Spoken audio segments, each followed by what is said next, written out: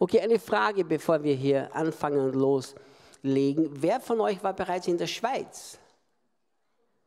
Warum lauft ihr mir nach? So was sollt ihr doch nicht tun. Ihr sollt Jesus nachlaufen, nicht mir. Jetzt kommt in die Schweiz, jetzt komme ich hier. Wo geht denn das nächste Mal nicht?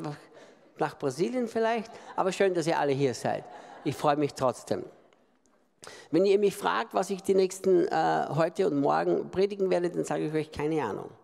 Ich habe nicht, nicht Zeit gehabt, darüber nachzudenken. Die letzten vier Tage waren sehr, sehr, sehr intensiv. Am, am Samstag, glaube ich, war es, da habe ich acht Stunden durchgedient ohne eine einzige Minute Pause. Nicht essen, nicht trinken, direkt acht Stunden durch. Die waren sehr intensiv und dann, abgesehen von den Veranstaltungen, Veranstaltungen waren wir auch noch ständig bei Leuten. Und die Debbie ist so, oh, ah, danke, jetzt wird's toll, yeah! Und meine liebe Debbie, die ist ja mit mit mir. Ich bin so viel in meinem Leben gereist ohne sie. Äh, vom Natürlichen her möchte ich nie wieder ein Flugzeug sehen und schon gar kein Hotel mehr. Aber ich mache das, weil der Herr es mir auf, beauftragt. Er hat mich dazu beauftragt. Aber Debbie ist diesmal auch mit. Nur wir sind hier angekommen, wir sind direkt angekommen, also direkt vom Gottesdienst, erst aus der Schweiz, direkt angekommen. Und äh, die Debbie hat gesagt, ich bin so K.O. Bitte lass mich heute hier ausruhen. Weil wenn ich heute Abend mit dir mitgehen muss, dann schleppe ich morgen den ganzen Tag durch. Und Mittwoch früh geht es schon wieder zurück nach Hause, ab nach Brasilien, dann am Donnerstag früh, Mittwoch zurück nach Österreich, dann ab nach Brasilien. Und sie hat gesagt, ich schleppe mich morgen den ganzen Tag. Sag den Leuten doch, ich bitte um Entschuldigung. Also entschuldigt ihr sie? Gut, danke. Ich werde ihr das sagen. Morgen wird sie hier sein, den ganzen Tag. Und es geht uns sehr gut. Okay, wahrscheinlich kennt ihr mich alle, sonst wäret ihr ja nicht hier. Das nehme ich mal an. Zumindest kennen viele von euch mich vom Internet, aber ihr kennt mich nicht wirklich. Aber zumindest habt ihr von mir gehört, irgendwie äh, seid ihr eingeladen worden und jetzt seid ihr hier. Also ich bin der Reinhard Hirtler, Österreicher, der in Brasilien lebt seit achteinhalb Jahren und wir bauen dort Waisenhäuser. Ein Grund, einer der Hauptgründe, warum ich eigentlich hier bin, ist heute. Also es geht ein bisschen zurück. Im 2020, im Januar, mein Flugzeug landete gerade in Sao Paulo, war gerade im Landeanflug in Sao Paulo und ich war einer, der die sozialen Medien gehasst hat, also verabscheut hat. Ich hatte fast so ein bisschen eine Philosophie, das ist alles vom Teufel. So Instagram, YouTube, Facebook, das mach, mochte ich nicht, nicht, nicht, nicht, nicht, gar nicht. Und äh, mein Flugzeug landete in Sao Paulo und der Herr sagte beim Landeanflug vom Flugzeug zu mir, sagte der Herr folgendes, Reinhard, du musst die sozialen Medien verwenden. Und ich habe gesagt, okay, dann tue ich das. Ich habe mir angewöhnt, vor vielen, vielen Jahren, wenn der Herr was sagt, nichts mit ihm diskutieren, schnell handeln. Also nicht noch ein Zeichen erwarten und noch eine Bestätigung. Wenn er einmal was sagt, brauchen wir keine Bestätigung mehr. Sobald er sagt, mach das, mache ich das. Ich denke auch gar nicht an die Konsequenzen. Wenn ich an die Konsequenzen denken würde der Handlungen, die ich gemacht habe, hätte ich wahrscheinlich 80 Prozent der Dinge nie gemacht, die ich gemacht habe in meinem Leben. Und als er gesagt hat, geh nach Brasilien, habe ich gesagt, Koffer packen, geh mal. Und äh, er hat gesagt, verwende die sozialen Medien. Ich habe gesagt, okay, mache ich. Aber schick mir die Leute. Denn ich wusste ja nicht einmal, wie, das, wie die Sachen funktionieren, weiß ich bis heute noch nicht. Ich weiß nicht mal das Passwort zu meinem eigenen Instagram-Account. Stell dir mal das vor. Keine Ahnung. Und ich habe gesagt, okay Herr, ich gehorche dir. Und habe einfach den Glaubensschritt genommen.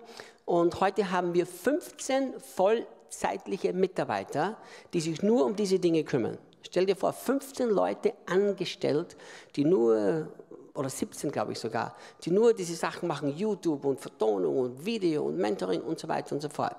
Und der Herr hat mir wirklich auch die besten Leute geschickt. Und die Zeugnisse, die wir bekommen haben, die Menschen, die sich bekehrt haben, ist einfach unbeschreiblich, was in den letzten zwei Jahren, wie viele Wunder wir da erlebt haben. Und ich bin mir herzlich dankbar, dass ich gehorsam war. Aber dann kam noch etwas, noch etwas dazu. Nämlich, ich habe so einen Eindruck gehabt, aus ist es mit dem Reisen. Nichts mehr. Und ich habe auch äh, gespürt, dass das war, was der Herr wollte. Ich bin ja ständig gereist, also in der Regel mindestens einmal, oft zweimal pro Woche auf irgendwelchen Konferenzen, von Stadien gefüllt mit 55.000 Leuten bis kleinere Gruppen. Aber ich war immer nur unterwegs und habe auf Konferenzen gepredigt. Und dann habe ich den Eindruck gehabt, aus, fertig, es wird nicht mehr gereist in Brasilien. Und ich habe meiner Assistentin sofort gesagt, jede Anfrage, die kommt um irgendeinen Predigtdienst, antwort einfach nein. Der Reinhard predigt nirgends mehr, er reist nirgends mehr hin. Er hat mehr als genug Arbeit mit den Brasilien Kids Care, unseren Waisenhäusern, die wir gründen und all den anderen Dingen, die wir machen. Und dann kam außer Polen, ich, seit 20 Jahren war ich ja ständig in Polen, sehr, sehr involviert. Einige von euch wissen das ja bestimmt. Da war ich ständig in Polen. Und dann kam das Jahr 2022 und Anfang, oder 2021, ja. Also es ging so 2021 zu Ende. Und der Herr begann eines Morgens zu mir zu sprechen. Ich saß in meinem Jesusstuhl, wo ich Zeit mit Jesus verbringe. Und als ich dort in diesem Stuhl sitze, sagt der Herr zu mir, Reinhard, du bist mir ungehorsam. Das war wie ein Dolch in mein Herz. Wer will denn Jesus ungehorsam sein? Der sagte, Reinhard, du bist mir ungehorsam. Und ich sagte, Herr, wo bin ich dir ungehorsam? Er hat gesagt, ich habe dir gesagt, jetzt ist deine Zeit, um in das deutschsprachige Volk zu investieren. Und du tust es nicht. Und ich brach zusammen auf meinem Stuhl und heulte und heulte und heulte. Und ich wusste, das Einzige, was ich loslassen kann, war Polen. Ich kann unsere Waisenhausarbeit nicht loslassen, ich kann unsere Schule des Prophetischen und Übernatürlichen nicht loslassen. Und ich musste mich entscheiden, Polen oder Gott gehorchen. Und ich habe mich dann entschieden, okay, dieses Kapitel meines Lebens, mein Investment in Polen wird geschlossen. Habe sofort auch mich in Polen gemeldet, habe gesagt, sorry, ich komme nicht mehr. Ich komme nicht mehr, das war's. Ich habe diese Entscheidung getroffen und von dem Augenblick an, was Gott durch mich in der deutschsprachigen Welt getan hat, ist unerstaunlich. Die Zeugnisse, die wir ständig bekommen, die Menschen, die sich bekehrt haben, die Leidenschaften für Jesus, die neu entfacht sind in so vielen Menschen, hat mich zutiefst berührt. Und wenn Jesus nicht gesagt hat, jetzt ist eine Zeit fürs deutschsprachige Volk, wäre ich heute nicht hier. Denn wir haben mehr als genug Arbeit und mehr als genug zu tun.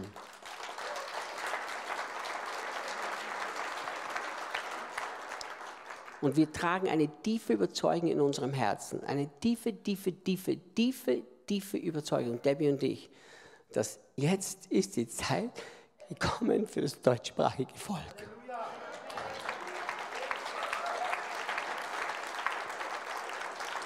Es ist unsere Zeit. Und Debbie und ich sind dabei, am sehr viel beten, nachdenken, reden, wie wir die nächsten Jahre planen werden. Und wir denken, ich sage es mal nicht, Gott hat so gesagt, aber wir denken, dass wir vielleicht in eineinhalb, zwei Jahren die Hälfte des Jahres in Deutschland leben werden und die Hälfte des Jahres in Brasilien.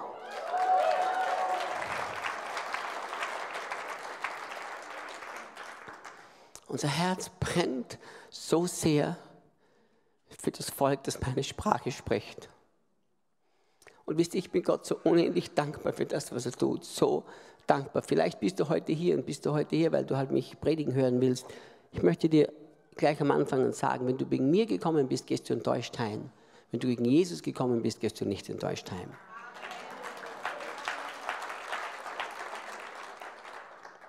Alles, was du mitnehmen kannst, diese nächsten zwei Tage, musst du mitnehmen, weil Jesus es durch dich mir gegeben hat, nicht weil ich es dir gegeben habe. Das muss euch so klar werden. Wisst ihr, im Jahr, im Jahr 2014 gab der Herr mir ein prophetisches Wort, dass die Gemeinde ganz stark erschüttert werden wird. Und ich habe das auch öffentlich dann prophezeit. Und im Dezember 2019 stand ich auf einer Bühne, auf einer großen Bühne in einer tollen Gemeinde in Sao Paulo.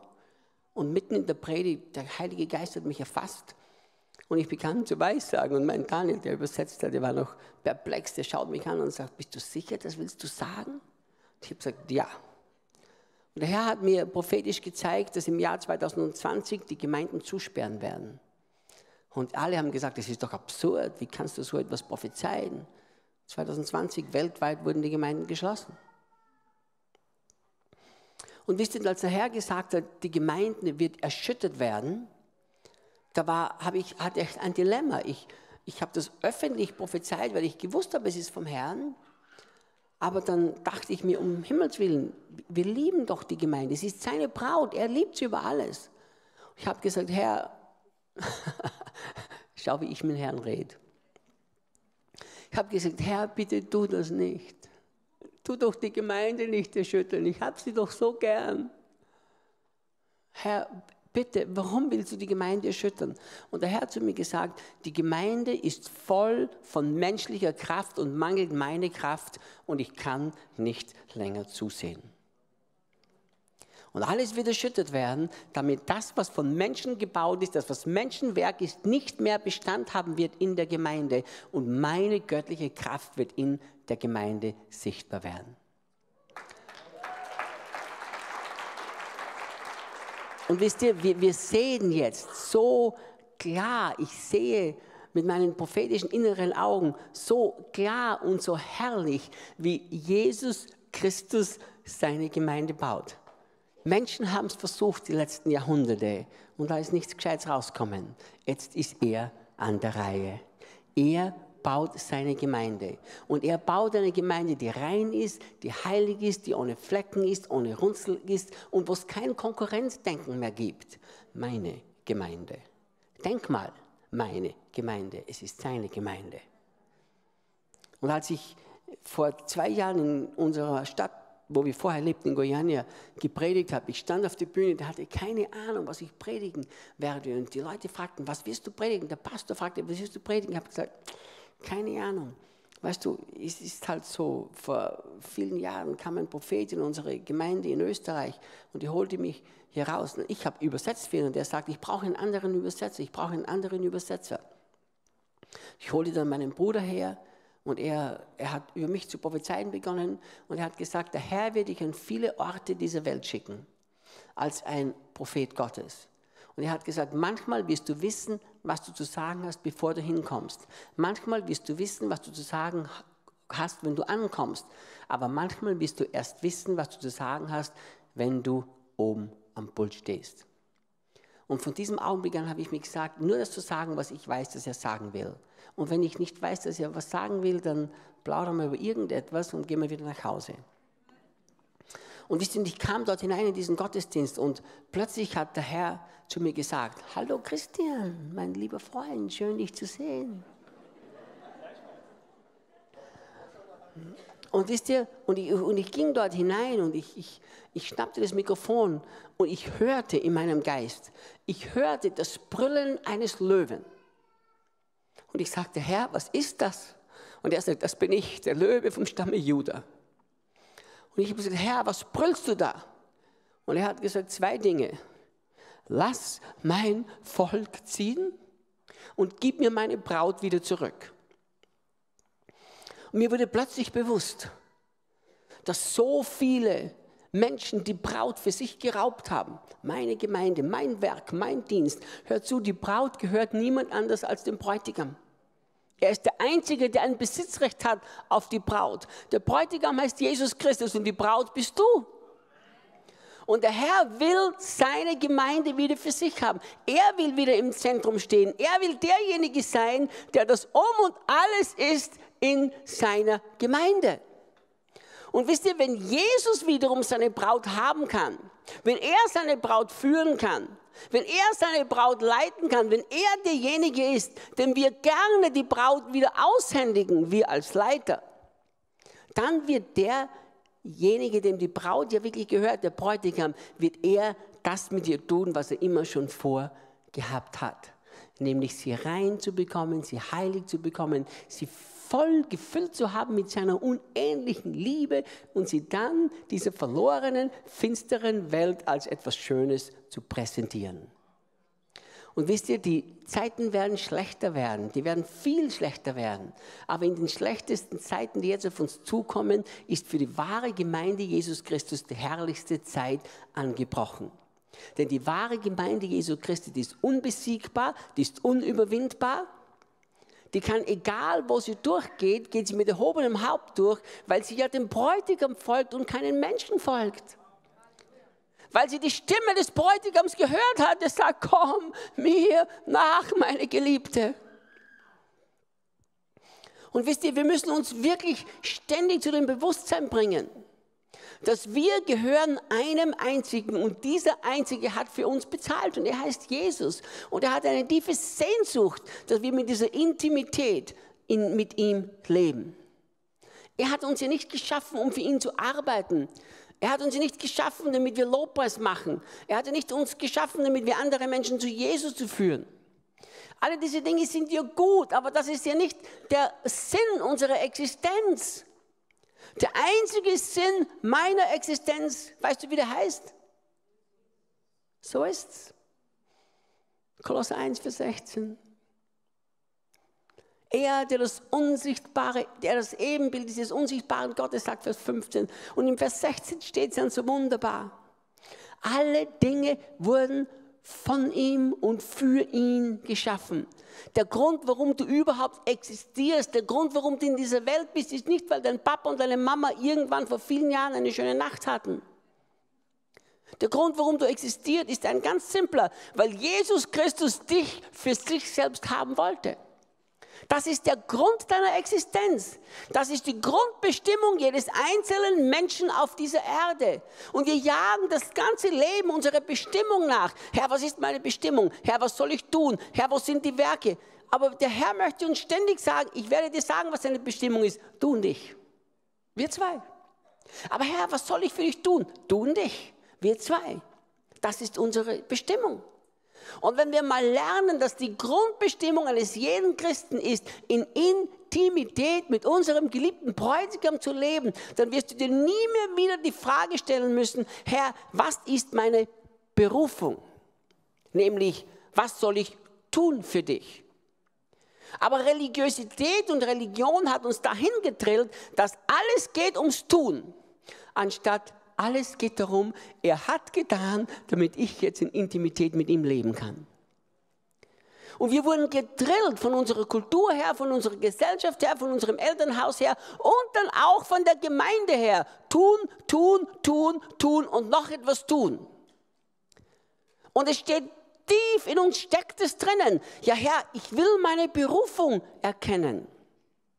Und dann jagen wir jahrelang getrieben durch dieses christliche Leben und jahrelang zerbrechen wir uns den Kopf und jagen Propheten hinternach, damit uns irgendein Prophet mal ähnlich das prophetische Wort gibt, das uns in unsere Bestimmung bringt. Und wir verstehen gar nicht, meine Bestimmung ist eine Person und nicht, was ich für diese Person tue.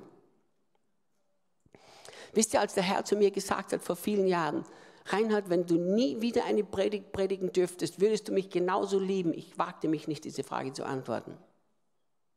Denn ich wusste, Gott will keine Information von mir, er will mir mein eigenes Herz zeigen. Und wisst ihr, es ist so leicht, so leicht, dass wir glauben, unsere Berufung hat mit Tun zu tun, wenn in Wirklichkeit unsere Berufung mit Sein zu tun hat. Und aus dem Sein heraus kommt das Tun. Aber wir glauben, aus dem Tun heraus kommt das Sein. Und so haben wir die Sache völlig verdreht. Aus dem Tun heraus kommt, wer ich bin. Aus dem Tun heraus kommt meine Identität. Aus dem Tun heraus kommt, ja, ich, ich tue was, ich bin Leiter. Jetzt habe ich meine Identität. Ähnlich, ich bin in meiner Berufung. Ich bin Leiter. Ich bin in meiner Berufung. Ich tue das. Und wir reden ständig von Berufung, von dem, was wir tun. Und die ganze Zeit, je mehr wir tun, desto weniger Zeit haben wir für unseren Geliebten, der Tag und Nacht darauf wartet, dass du einfach einmal sagst, Jesus. dass sich sehnt danach, mit dir in einer Beziehung zu leben, die von Herzen zu Herzen ist. Und weißt du, im Jahr, ganz vor vielen Jahren, mehr als 30 Jahren, arbeite ich für einen ganz außergewöhnlichen Mann Gottes. Jimmy Swaggart hieß der. Ich weiß nicht, ob jemand von euch den Namen kennt, die Älteren vielleicht. Nein, das war schon einige von euch, ja. Ich arbeite vollzeitig für diesen Mann. Dieser Mann führte hunderttausende Menschen zu Jesus. ein außergewöhnlicher Evangelist, wie man sich nur vorstellen kann. Gesalbt mit dem Heiligen Geist, wandelt in der Power Gottes, außer, außer, außergewöhnlicher Dienst. Ich hatte das Vorrecht, für diesen Mann vollzeitlich zu arbeiten. Und dann fiel der Mann in sexuelle Sünde und Unzucht, alles kollabierte, sein Dienst war zu Ende, also er machte weiter, aber in Wirklichkeit war es zu Ende. Und ich kann mich erinnern, ich, ich erfuhr das damals, ich war gerade frisch verheiratet und ich rannte in mein Schlafzimmer, ich knallte die Tür zu und ich schmiss mich auf dem Bett und ich heulte und ich heulte und ich heulte und ich heulte. Und Debbie kam rein und sagte, was ist los, was ist los? Ich habe gesagt, geh raus, mach die Tür zu, ich will alleine sein, lass mich in Ruhe. Und ich heulte und ich habe gesagt, Herr, wenn ein Mann mit so einer Salbung, wenn ein Mann mit so einem Dienst, wenn ein Mann, der von dir so gebraucht wird, weltweit auf diese außergewöhnliche Art und Weise, wenn ein Mann wie dieser so endet, was gibt es für mich für eine Hoffnung? Wie werde ich enden? Ich habe gesagt, Herr, bitte nimm mir jetzt das Leben. Nimm mich in den Himmel. Debbie wird es überleben, dass sie Witwe ist. Kinder haben wir noch keine ich will lieber, dass mein Leben jetzt endet, als dass irgendwann einmal mein Leben so endet. Sagt, Herr, ich habe Angst. Wenn diese gewaltigen Männer Gottes so enden, wie werde ich enden? Und in diesem Augenblick sprach Gott zu mir und er sagte, Reinhard, Sie haben sich alle verlassen auf Ihre Gaben, auf Ihre Berufung, auf Ihre Salbung, aber Sie lebten nicht aus der Intimität mit mir. Und er hat gesagt, vergiss Berufung, vergiss Salbung, vergiss Gaben, Darüber brauchst du dir keine Sorgen machen. Das ist meine Aufgabe. Du machst dir nur um eine Sorgen, dass du mit mir in einer intimen Beziehung lebst. Und von diesem Augenblick an, seit mehr als Jahrzehnt, drei Jahrzehnten, habe ich eine Priorität in meinem Leben. Und diese Priorität ist eine Person. Und diese Person folge ich nach. Und von diesem Augenblick an wurde mir plötzlich bewusst, wie leicht es geht, dass wir Berufung mit Tun verwechseln, anstatt Berufung mit Sein verwechseln. Mein geliebter Bräutigam sehnt sich nach mir. Und wenn ich diese Sehnsucht einfach nachgebe und diese Sehnsucht von ihm zu ergreifen beginne in meinem Herzen. Und wenn ich meine Identität habe, dass ich seine geliebte Braut bin, dass ich sein Geliebter bin, dass ich der angenommene, akzeptierte, geliebte Reinhard bin, wisst ihr, was dann, was dann ist? Was immer er will, dass ich tue, das tue ich. Und wenn er will, dass ich nichts tue, tue ich nichts. Und es ändert nichts an meinem Glück. Es ändert nichts an meiner innerlichen Befriedigung. Es ändert nichts an dem, was in mir drinnen ist. Und wenn ich schaue auf der ganzen Welt, wie das Volk Gottes getrieben ist, getrieben ist vom Tun und Schaffen und Machen und Leistung, und wie sie ihre Identität in der Leistung haben und nicht in dem, was sie sind, in ihrem geliebten Jesus, der uns ja vor Grundlegung der Welt bereits auserwählt hat, um seine Geliebten zu sein. Und wenn wir diesen Shift machen können, wenn wir dieses einmal in unserer Herzen zu dem Punkt kommen können, wenn wir sagen, Herr Jesus, wenn ich nichts habe außer dich, werde ich glücklich sein bis zum Ende meines Lebens. Wenn wir das nicht schaffen, ich werde euch sagen, in den zukünftigen Zeiten, die auf uns zukommen, werden viele von uns sich sehr, sehr schwer tun, wenn wir nicht sogar daran zerbrechen werden. Was machst du, wenn Verfolgung kommt? und du dich mit niemandem mehr treffen kannst und du keinen Pastor hast und du niemand mehr hast, der dir noch sagen kann, was du tun sollst. Was machst du, wenn sie das Internet abschalten und du kannst mich nicht mehr predigen hören? Was machst? Wenn du sagen kannst, vom wirklich vom tiefsten Herzen, solange ich meinen Jesus habe, geht es mir gut. Er ist mein Alles. Er ist mein Geliebter. Ich wurde geschaffen für ihn, nicht um für ihn zu arbeiten.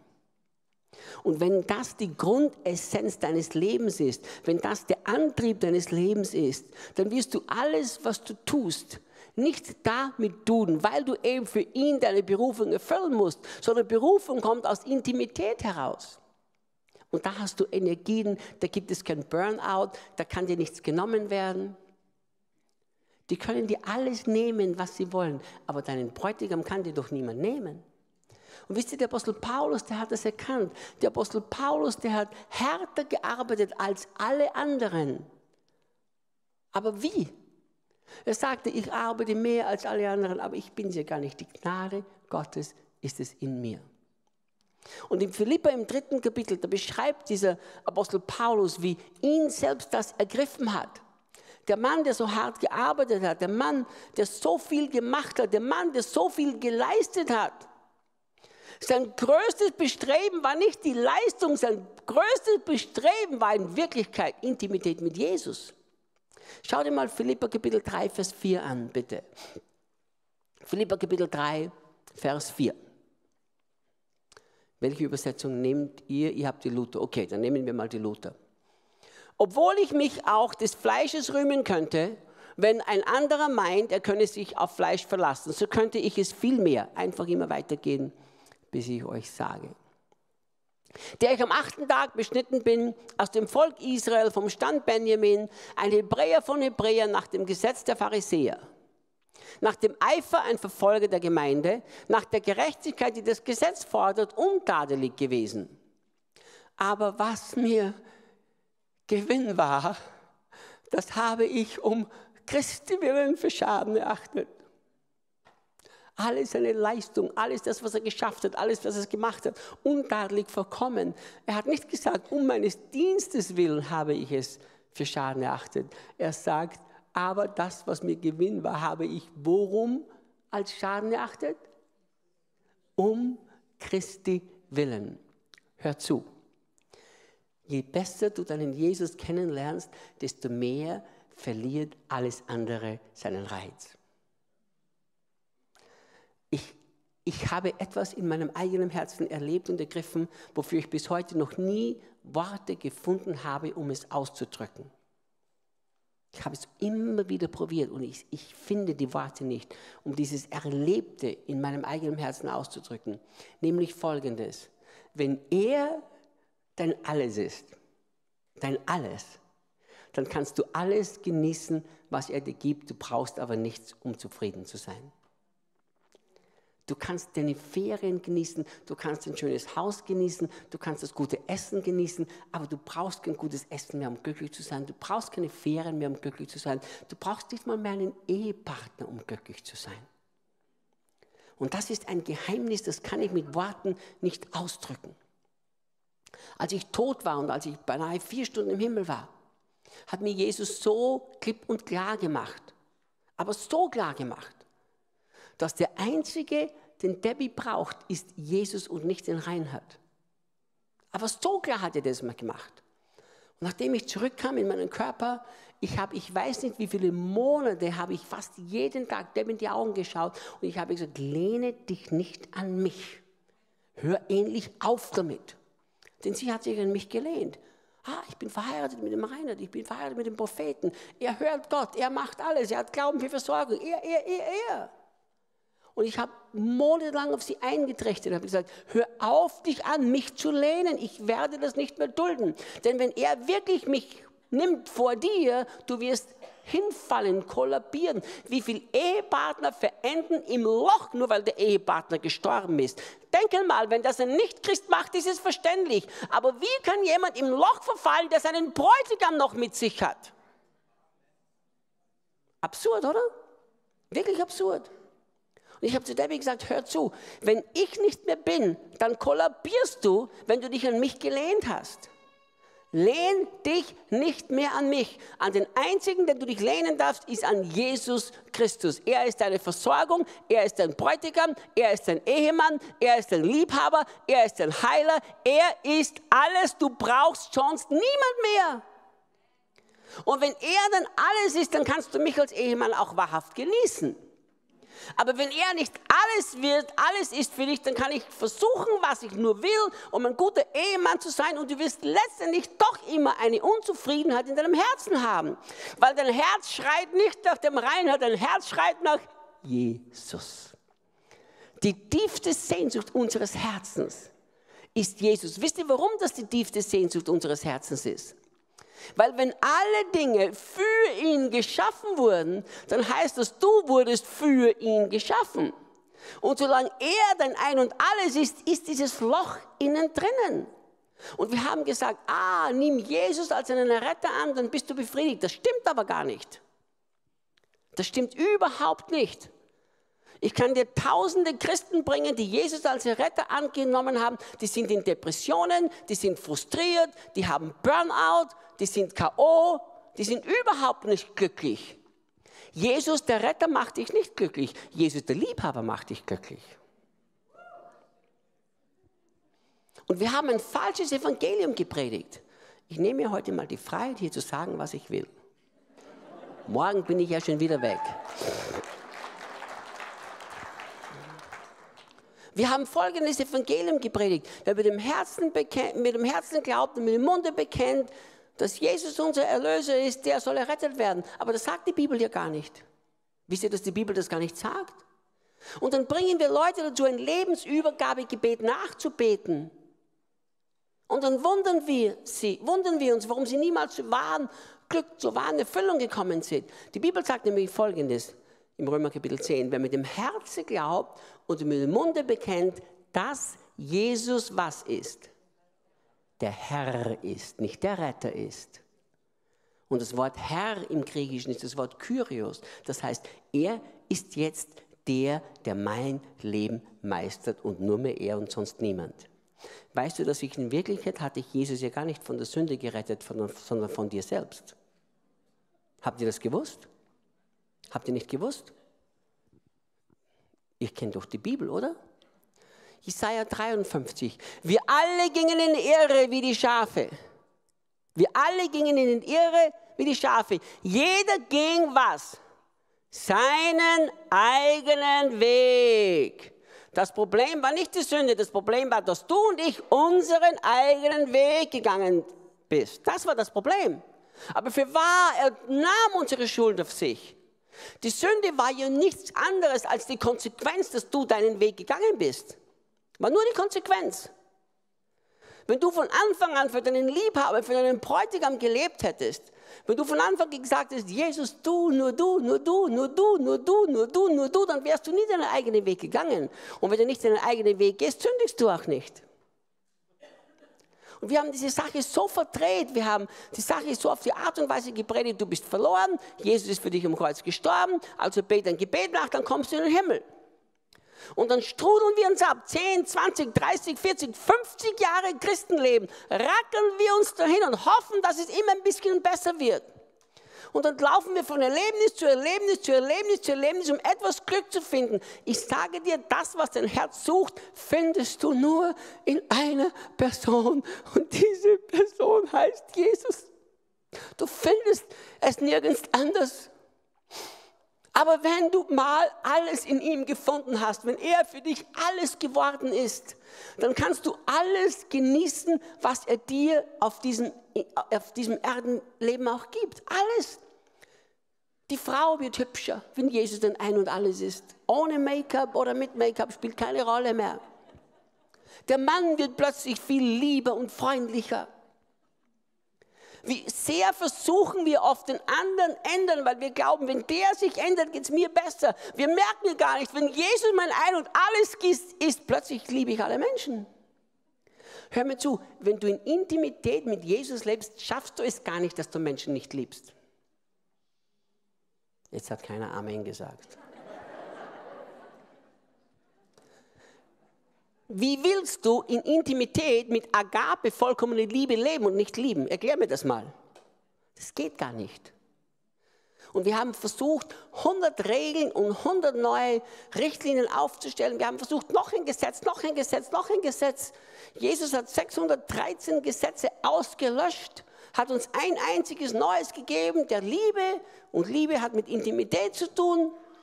Und das eine leben wir nicht und dafür haben wir uns schon das 613, 675 aufgezaubert. Das noch tun und jenes noch tun und das noch und jenes noch tun. Und dann sind wir ausgepowert, wir sind am Ende. Und wir versuchen immer, Herr, warum geht es mir so schlecht? Was habe ich falsch gemacht? Sage dir, was wir falsch gemacht haben. Wir haben ihn aus dem Zentrum herausgenommen. Wir haben Programme da hineingestellt. Wir haben Menschen da hineingestellt. Wir haben uns Götzenbilder geschaffen. Die heißen Gemeinde oder Programme oder Leistung oder Dienst oder Ehemann oder Ehefrau oder Job oder Berufung. Wir haben unser Leben voll gefüllt von Götzen, einem nach dem anderen, haben es gar nicht gemerkt, dass die auf dem Thron unseres Herzens sitzen und dann versuchen wir aus dem Frust herauszukommen. Ich sagte, als sie mir gesagt hat, wann war ich das letzte Mal verzweifelt, ich dachte mir, verzweifelt, verzweifelt, verzweifelt. Ich konnte mich nicht erinnern an einen Augenblick, wo ich verzweifelt war, seit un, unzähligen vielen Jahren. Schwierigkeiten, ja. Prüfungen, ja. Harte Zeiten, ja. Nüsse zu knacken, ja. Aber in all dem mache ich das mit einer Freude in meinem Herzen, die mir manchmal Sorgen macht. Wirklich, ihr lacht da. Vor nicht so langer Zeit saß ich in meinem Jesusstuhl und ich sage, Jesus, wenn das jetzt nicht aufhört, mein Herz verkraftet das nicht. Mein Herz verkraftet so viel Freude nicht. Ich schaffe das nicht. Ich muss ein bisschen zurückschrauben, ein bisschen, ein bisschen weniger an dich denken. Wisst ihr, wenn wir nur ergreifen könnten, dass im Grunde genommen das Christenleben ist die einfachste Sache der Welt, Jesus und du. Und wir haben es die komplizierteste Sache der Welt gemacht. Jesus hat gesagt, kommt her zu mir alle, die mühselig und beladen seid. Ich gebe euch 13 Regeln, wie ihr herauskommt aus dieser Mühsal und aus dieser Beladenheit. Er sagt, komm her zu mir und lernt von mir. Lernt von mir. Ich bin demütig und ich bin von Herzen sanftmütig. Wie lernst du von Jesus, wenn du nicht in der Stille zu seinen Füßen sitzt? Wisst ihr, was ich vielen von meinen Leuten, die sehr eng mit mir gehen und meinen geistigen Kindern immer wieder gesagt habe? Ich äh, habe gesagt, hör auf, dir den Kopf zu verbrechen über so viele Dinge, die Jesus gesagt hat und die du gar nicht verstehst. Das sind so viele Dinge, die Jesus gesagt hat. Die hat er nicht zu uns gesagt, teilweise zu anderen gesagt. Die verstehen wir nicht, weil wir die Kultur nicht verstehen. Dann wurden sie teilweise nicht gut übersetzt. Und wir zerbrechen uns ewig den Kopf. Aber Jesus hat es doch gesagt. Anstatt zu stille zu seinen Füßen sitzen und sagen, Jesus, ich will dich fühlen, ich will dich hören, ich will dich erleben. Ich will alles für dich. So einfach ist es. Ich gehe nicht mit meinen Weg, nur mit deinen. Führe mich, leite mich. Du bist mein guter Hirte. Und wenn wir lernen, dass die Intimität mit Jesus Priorität ist und alles andere aus dem herauskommen muss, wisst ihr, was dann geschehen wird? Dann werden wir sagen wie Paulus, ich achte alles als Schaden um Christi willen. Wenn ich, wenn ich nur Christi ergreifen kann, dann lasse ich alles andere beiseite. Alles andere ist mir inzwischen nicht mehr wichtig. Vor vielen Jahren hat der Herr mir eine so eine prophetische Schau gegeben. Ich saß in meinem Bett, es war äh, 97 und plötzlich hatte ich dieses, dieses Mischung zwischen Gefühl, prophetischer Sicht und irgendeiner prophetischen Erfahrung und ich sah, dass der Bräutigam nicht mehr im Zentrum der Braut steht. Und ich heulte damals so, ich habe es nicht mal noch verstanden. Ich heulte damals so und ich sagte, Herr, wenn du mich würdig erachtest, bitte erlaub mir irgendwann einmal in meinem Leben, dass ich dich wieder zurückzubringen als Zentrum des Christentums. Und wenn Jesus Christus, er die Person für uns zur absoluten Priorität wird, nicht den ersten Platz hat, sondern den einzigen Platz in unserem Herzen. Wenn er unser Herz so in Besitz ergriffen hat, wisst ihr, was geschehen wird? Sie können dir alles nehmen, was sie dir nehmen wollen. In deinem Herzen wirst du einfach sagen, Jesus, dich habe ich noch. Danke. Danke.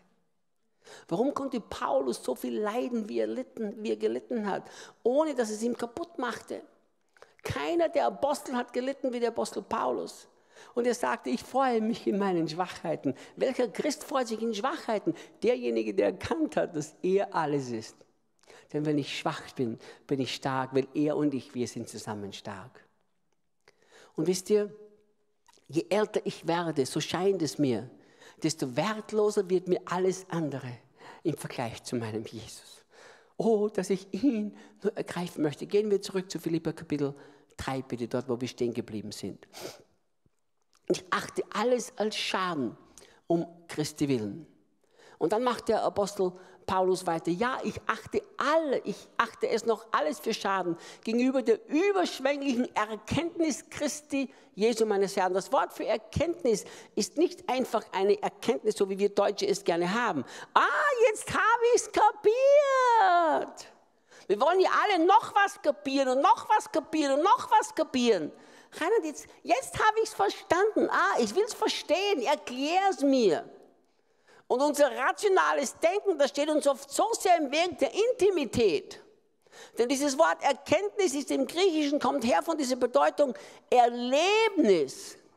Und Paulus sagt mit anderen Worten, ich achte alles für Schaden gegenüber der überschwänglichen Erlebnis Christi. Paulus hat Christus erlebt als den, der der Einzige ist, der für ihn wichtig war. Um seines Willen ist mir alles ein Schaden geworden und ich achte es für Dreck, damit ich was gewinne? Christus, hat er von der Bekehrung gesprochen? Der war ja schon bekehrt. Paulus sprach nicht davon, dass ich Christus gewinne als meinen Erretter, denn er hatte Christus als seinen Erretter. Paulus sprach davon, dass ich ihn erkenne, erlebe, erfahre, dass er dieser persönliche, intime Teil meines Lebens wird. Darum tracht, erachte ich alles für Dreck. Und das Wort Dreck ist sehr nett übersetzt. Denn wisst ihr, was es im Griechischen wirklich bedeutet? Das, was ihr dort draußen auf der Toilette lasst, nachdem ihr gut gegessen habt. Das ist das Wort im Urtext. Und Paulus vergleicht sein tiefes Verlangen nach Christus erleben, Christus zu haben, Christus zu erkennen, ihn besser zu kennen. Und er vergleicht es mit allen anderen Dingen seines Lebens und er sagt, Dreck, es ist alles einfach nur Kot. Und weißt du, und je, je länger ich diese Beziehung mit Jesus nachjage, je länger ich alles, was ich habe, daran setze, ihn zu kennen, ihn zu erleben, ihn zu verstehen, er alles in meinem Leben wird, desto mehr merke ich, alles andere ist einfach nur Dreck. Es ist einfach nur Dreck, weißt du, der Applaus der Menschen ist nichts. Dass die Leute mir sagen, ah, Reinhard, wie toll, ist nichts. Dass wir 100 Waisenhäuser bauen, ist nichts. Ja, ich liebe die Kinder, die in Brasilien keine Hoffnung haben. Ich liebe sie und ich habe mein Leben verstrieben, so viel wie nur geht zu retten. Aber wenn ich das vergleiche mit Jesus zu haben, Jesus zu leben, ist es nichts. Verblasst es alles. Schau, wie der Apostel Paulus weiter sagt. In ihm gefunden werde, dass ich nicht habe meine Gerechtigkeit, die aus dem Gesetz kommt, sondern die durch den Glauben an Christus kommt, nämlich die Gerechtigkeit, die von Gott dem Glauben zugerechnet wird. Ich möchte ihn erkennen und wiederum ist das griechische Wort erkennen in Intimität erleben. Ich möchte ihn erleben und die Kraft seiner Auferstehung und die Gemeinschaft seiner Leiden und so seinem Tode gleichgestaltet werden. Wie absurd dieser Vers doch ist, wenn du den mal genug, wirklich ganz genau anschaust. Gehen wir bitte zurück zu 10. Schau mal, schau mal, was der Apostel Paulus sagt. Was? Ich möchte die Gemeinschaft seiner Leiden? reiner Tagensicht von Leiden. Wir haben die letzten zwei Jahre genug gelitten mit der Pandemie. Wer will heute noch leiden? Jesus hat uns doch den neuen Bund gegeben, damit niemand mehr leiden braucht. Wir wollen nicht leiden, rein. Und du predigst immer, Jesus ist genug. Er hat den neuen Bund gemacht. Wir sind gesegnet mit jeder geistlichen Segnung. Und auf einmal änderst du und sagst du, predigst du uns da was vom Leiden? Aber schau dir den Kontext an. Paulus hat gesagt, das Leiden, so werde ich seinem Tod gleichgestaltet. Hör mir zu. Wir glauben, dass das Kreuz auf sich zu nehmen und mit Christus im Tod vereint zu sein, tut weh. Aber es tut nur weh, solange wir uns wehren dagegen. Wenn wir ähnlich ergreifen, dass wenn ich mit Christus in seinen Leiden vereint bin, nicht ich in meinem religiösen Leiden, wenn ich mit ihm im Tod gleichgestaltet werde, dann gewinne ich ja auch sein Auferstehungsleben. Und die meisten von uns, die leben unser irdisches Leben mit Jesus, der irgendwo ein anderer Jesus ist. Anstatt zu verstehen, wenn ich das Auferstehungsleben Christus leben muss, muss ich mir selbst auch gestorben sein. Da geht es nicht mehr um mich, da geht es nicht mehr um meinen Dienst, da geht es nicht mehr um meine Bonuspunkte, die ich mir sammle bei meinem Gott, damit, wenn ich irgendwann mal im Himmel komme, drei mehr Bonuspunkte habe wie mein anderer Bruder hier. Sondern geht es nur um eines, dass ich ihn wahrhaftig erkenne. Ich möchte dir etwas sagen, wenn du eines Tages im Himmel stehst, das Letzte, was du tun willst, ist mit Paulus oder Petrus oder Elia zu sprechen oder sonst jemand. Das Erste, was du tun wirst, ist, jedes Knie wird sich beugen vor wem? Du wirst deine Knie beugen vor ihm. Du wirst ihm zu, dich zu Füßen werfen. Du wirst deine Krone ihm zu Füßen werfen. Und du wirst sagen, ähnlich darf ich bei dir sein, den ich mein Leben lang geliebt und verehrt habe. Schau, wie der Apostel Paulus weitermacht. Damit ich gelange zur Auferstehung von den Toten. Vers 12. Nicht, dass ich schon ergriffen habe oder schon vollkommen sei. Also Paulus kann nicht von der Rettung sprechen, denn er hatte die Rettung ergriffen gehabt. Er predigte sogar die Rettung durch das Kreuz Jesus Christus. Aber er spricht von etwas ganz anderes. Er spricht davon, diese Intimität mit Jesus, dieses ihn erleben, dieses ihn erkennen, dieses herrliche Zweisamkeit, er und Jesus. Nicht, dass er es schon ergriffen hat, aber schau, was er tut. Er sagt, ich jage ihm nach, ob ich es wohl ergreifen könnte, weil ich von Jesus ergriffen worden bin. Weißt du, warum Jesus dich ergriffen hat? Ja, weil er brauchte jemand, der die Berufung ausübte als Gemeindegründer. Er brauchte jemanden, der die Berufung ausübte als Lobpreisleiter. Er brauchte jemanden, der die Berufung ausübt als Lehrer in der Schule. Nein, er hat dich ergriffen, weil er dich wollte. Er hat dich ergriffen, weil er unbedingt ein Objekt seiner Liebe suchte. Ich gebe euch mal eine philosophische Aussage hier, die könnt ihr akzeptieren oder liegen lassen. Das stelle ich euch frei. Ihr könnt alles akzeptieren oder liegen lassen. Das stelle ich euch hier immer frei. Aber stell dir mal vor, wenn Gott wirklich Liebe ist, nämlich Agape-Liebe, nicht menschliche Liebe, wenn Gott tatsächlich Liebe ist, göttliche Liebe, und die Bibel sagt im 1. Korinther 13, die Liebe sucht nicht das eigene Interesse. Wenn Gott Liebe ist und nicht das eigene sucht, warum hat er uns dann geschaffen? Für sich selbst. Aber wofür? Damit wir was tun für ihn? Das wäre eigenes Interesse. Damit er Objekte seiner unendlichen Liebe hat. Der Grund, warum Gott dich geschaffen hat, ist nicht, damit du liebst, sondern ist, damit du geliebt werden kannst. Und das ist, nachdem der Paulus getrachtet hat. Das ist, nachdem der Paulus nachgejagt hat. Dass ich ihn ergreifen möge, ihn erkennen möge, ihn erleben möge. Dass ich den, der mich ergriffen hat, für sich selbst auch ergreifen möge. Und es war dieser Schrei im Herzen des Apostel Paulus mit, Christus hat mich ergriffen und jetzt muss ich dem nachjagen, damit ich ihn ergreife, der mich ergriffen hat. Er hat mich ergriffen, damit er mich lieben kann. Er hat mich ergriffen, damit er mir neue Identität geben kann, nämlich als sein Geliebter. Stell dir vor, wenn jede Person, die heute Abend hier in dem Raum ist und die uns auch online zuschaut, jede Person ab diesem heutigen Abend eine hundertprozentige Überzeugung gehabt, ich bin bedingungslos geliebt vom Schöpfer des Universums. Weißt du, was geschehen wird? Es ist dir so egal, ob der Rest der Welt dich ablehnt oder nicht. So egal. Es ist dir gar nicht mal mehr wichtig, ob dein eigener Ehemann oder deine Ehefrau dich liebt. Wenn du dich wirklich geliebt weißt von dem Schöpfer des Universums, von Agape-Liebe selbst, was macht es dir noch aus, wenn dich Personen nicht mehr lieben? Nichts macht es dir mehr aus. Der Grund, warum wir so viele Probleme mit uns herumschleppen, warum wir so viele Schwierigkeiten sämtlich versuchen aufzuhaben, ich werde euch sagen, jeder, der das im Herzen vergreift, der schickt alle Seelsorger in die Arbeitslosigkeit. Das verspreche ich dir wenn du in deinem Herzen ergriffen hast, dass er dein geliebter Bräutigam ist, dass er derjenige ist, der sich sehnt danach, in Intimität mit dir zu leben, dass er dich geschaffen hat für sich selbst und er brauchte niemanden zum Arbeiten, er braucht die Objekte seiner Liebe. Wenn das in deinem Herzen ergriffen wurde, dann plötzlich gibt es für dich nichts anderes mehr als zu lieben und plötzlich bist du nicht mehr Abhängigkeit, bist du nicht mehr abhängig von der Liebe der anderen Menschen. Wie können wir unsere Feinde lieben, wenn wir selbst nicht mal uns geliebt wissen? Stell dir mal vor und schau, was der Apostel Paulus weiter sagt in Vers 12. Vers 13, sorry. Meine Brüder, ich schätze mich selbst nicht so ein, dass ich es ergriffen habe. Eins aber sage ich, viele andere übersetzen sagen, eins aber tue ich, eins aber sage ich, ich vergesse, was da hinten ist und ich strecke mich aus nach dem, was vorne ist. Als ich das gelesen habe vor einiger Zeit, vor ein paar Jahren, dachte ich mir, Paulus hat ein Problem oder die Bibelübersetzer haben was falsch gemacht.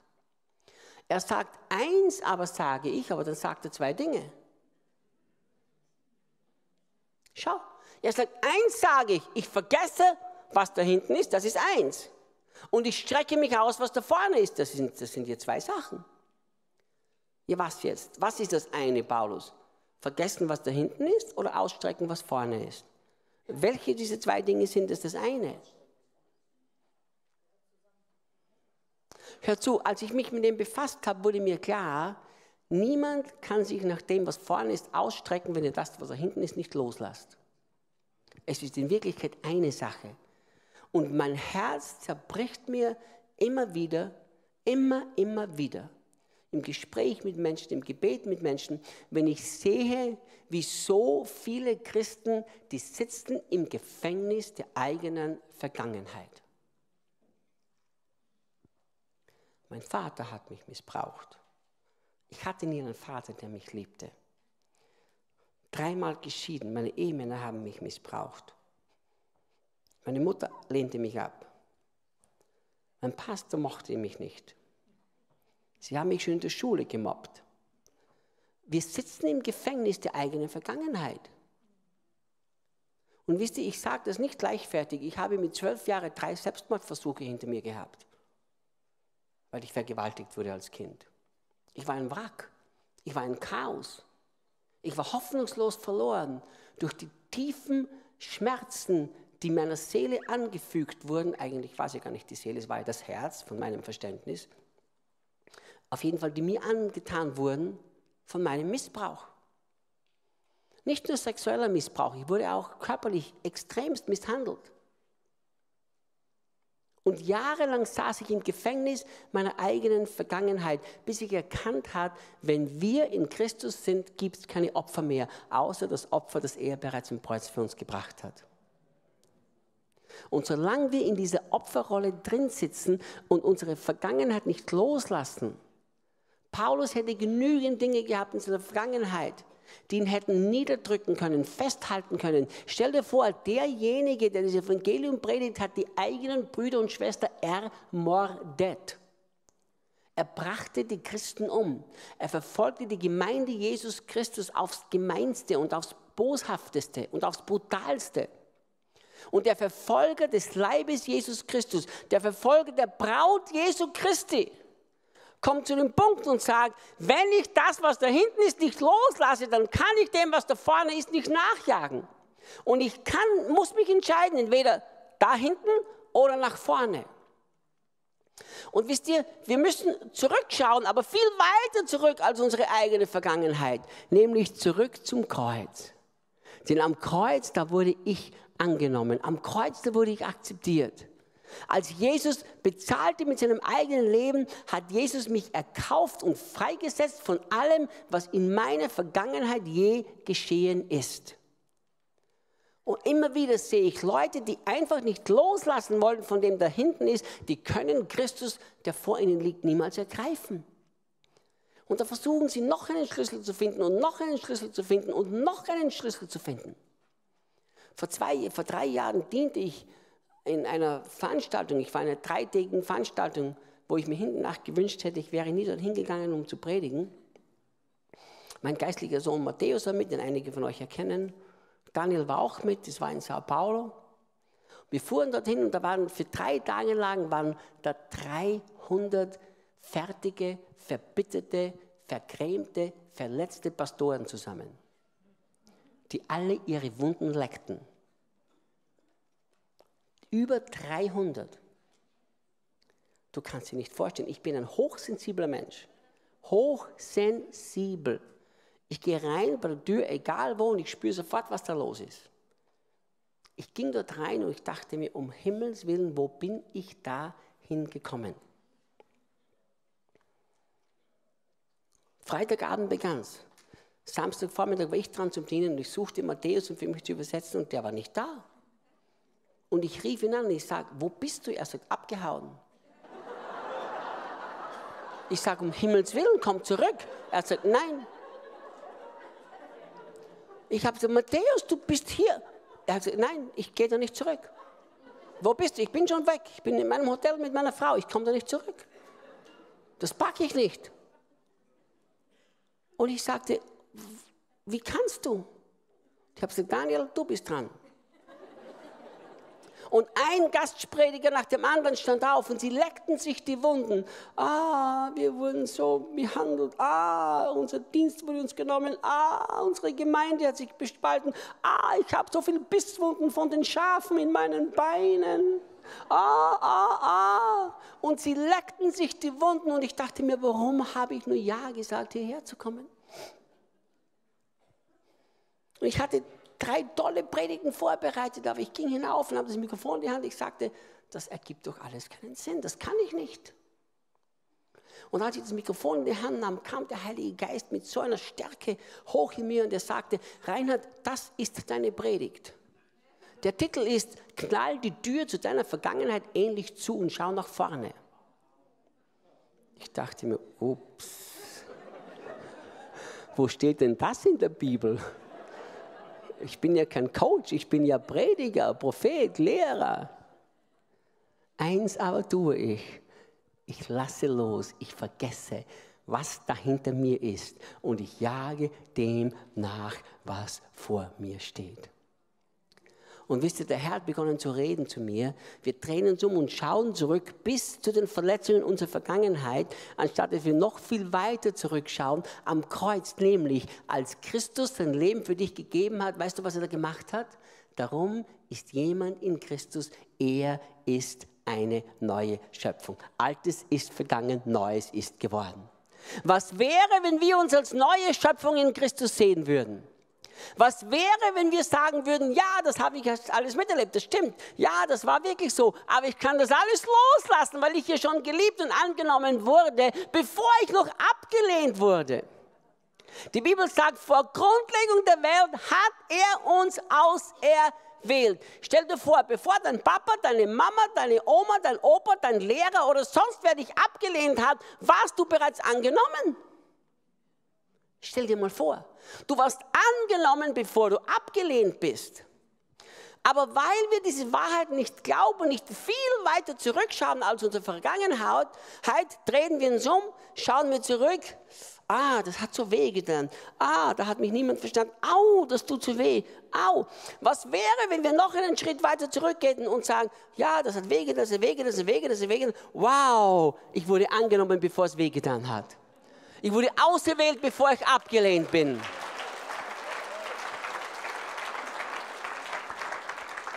Mein Ursprung ist in Christus, nicht in meiner Papa und in meiner Mama. Mein Ursprung, meine Vergangenheit ist da. Ja, natürlich, in den 60er Jahren wurde ich furchtbar missbraucht. Das ist meine Vergangenheit. Aber vor Grundlegung der Welt wurde ich akzeptiert, geliebt, angenommen, geachtet, geschätzt und geehrt. Und als ich das verstanden habe, blickte ich viel weiter zurück als zu meiner Vergangenheit. Und ich konnte ähnlich eins tun. Ich lasse das los, was da hinten ist. Und ich jage nur mehr einem nach meinem geliebten Jesus. Er hat mich angenommen. Er hat mich geschätzt.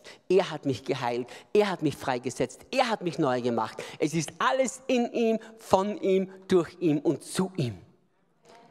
Und wenn wir das nicht lernen, und wenn wir das nicht lernen, viel weiter zurückzusehen, als wir bis jetzt zurückgesehen haben, dann sitzen wir ständig im Gefängnis unserer Vergangenheit. Und das war für mich eine, eine Erfahrung, ein Erlebnis, dass ich gesagt habe, ich brauche nichts verleugnen aus meiner Vergangenheit. Das war ja da. Wisst ihr, vor vielen Jahren, ich konnte nicht mal erwähnen, dass ich sexuell missbraucht wurde als wenn ich nur gesagt habe, ich wurde als Kind, ich habe so zu schluchzen begonnen. Ich brach zusammen unter Schluchzen.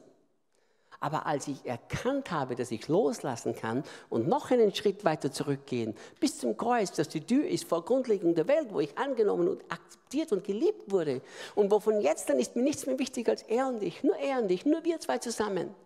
Plötzlich wurden die Schmerzen in meinem Herzen endlich geheilt. Und ich konnte loslassen und nachjagen. Und seit diesem Tag jage ich ihm nach mit allem, was in mir drinnen steckt. Ist Peter hier, Peter Ebert? Oder kommt er erst? Hier hinten ist er. Peter, wir haben heute noch darüber geredet, gestern Abend auch noch. Und Peter sagte zu mir so auf die Art, ich habe jetzt mein Handy nicht hier, um das zu lesen, es ergibt dir alles keinen Sinn mehr, es ist nur er. Es ist nur er, es geht nur um ihn. Aber wir machen alles um uns. Mich, mein Wehwehchen, mich, Reinhard, alle denken nur an sich, nur ich alleine denke an mich. Niemand denkt an mich, niemand versteht mich. Hör zu, der, der dich bedingungslos liebt, hat dich verstanden, bevor du verletzt wurdest. Stell dir vor, wir sind ja, das sage ich lieber nicht. Ich sag's doch. Wir sind ja großteils selbst schuld, dass wir so verletzt wurden, weil wir haben ja das in Menschen gesucht, was uns nur Jesus geben kann. Wir haben Menschen vertraut. Was sagt die Bibel in Jeremia 17, Vers 5? Verflucht ist der Mensch, der auf Menschen vertraut, der Fleisch zu seiner Stärke macht. Verflucht ist dieser Mensch. Und wir laufen einem nach und dem nächsten nach und wieder einen nach. Ich möchte dir etwas sagen. Wenn ich dich nicht näher zu Jesus bringe, habe ich versagt. Glaubst du wirklich, dass am Ende meines Lebens, wenn ich vor Jesus stehe, er mir einen Applaus dafür gibt, wie hart ich gearbeitet habe? Unser Lohn im Himmel sind Menschen, nicht Häuser, nicht Gold, nicht schöne Sachen. Unser Lohn im Himmel ist, er uns in die Augen zu schauen und sagen, wohlgetan, mein gut und treuer Knecht. Schau, hier ist dein Lohn, Menschen. Menschen, die leidenschaftlich wurden für mich, weil du mir auch leidenschaftlich nachgefolgt bist. Und wenn ihr Menschen nachlauft, ihr werdet enttäuscht werden, ihr werdet verletzt werden, du kannst fahren bis ans Ende der Welt, du kannst den größten Mann Gottes dir die Hände auflegen lassen, du kannst 15 prophetische Worte bekommen und du wirst am Ende deines Tages doch wieder enttäuscht sein. Aber gesegnet ist der Mensch, der sich auf den Herrn verlässt. Ich habe noch nie in meinem Leben einen leidenschaftlichen Liebhaber Jesus getroffen, der enttäuscht war. Das Lied, das wir heute gesungen haben, ist eines meiner absoluten Lieblingslieder. Ich habe es noch nie auf Deutsch gehört. Danke euch sehr. Noch nie habe ich es auf Deutsch gehört. Auf Englisch. Er ist immer treu. Wisst ihr, ich schaue auf mein eigenes Leben zurück. Ich dachte mir, meine Güte, wenn ich Gott wäre, hätte den Reinhard schon längst abgeschlossen.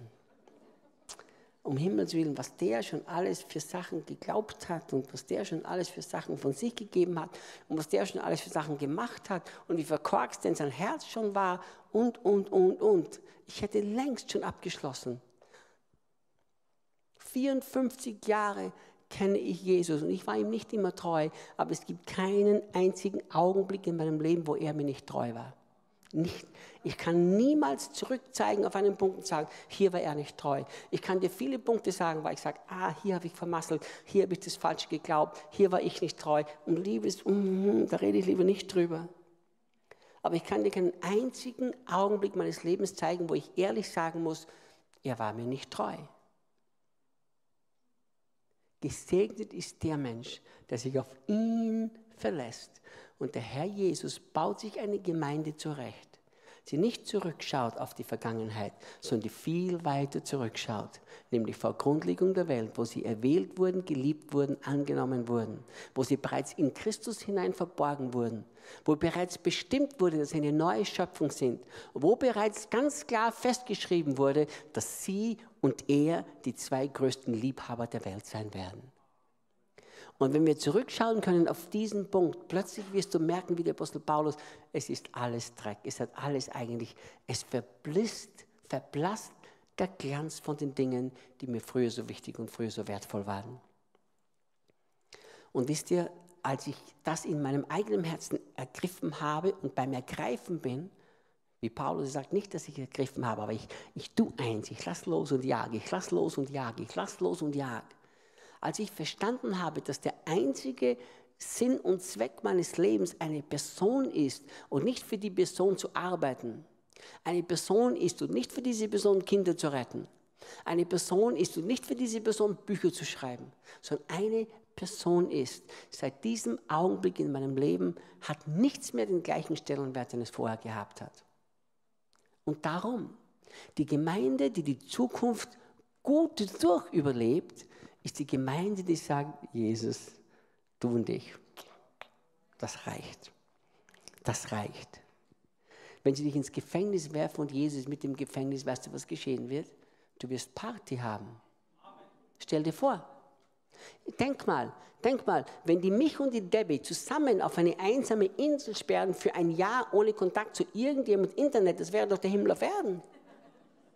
Und jetzt stell dir vor, die machen es mit mir und Jesus. Dann wäre es das siebte Himmel auf Erden.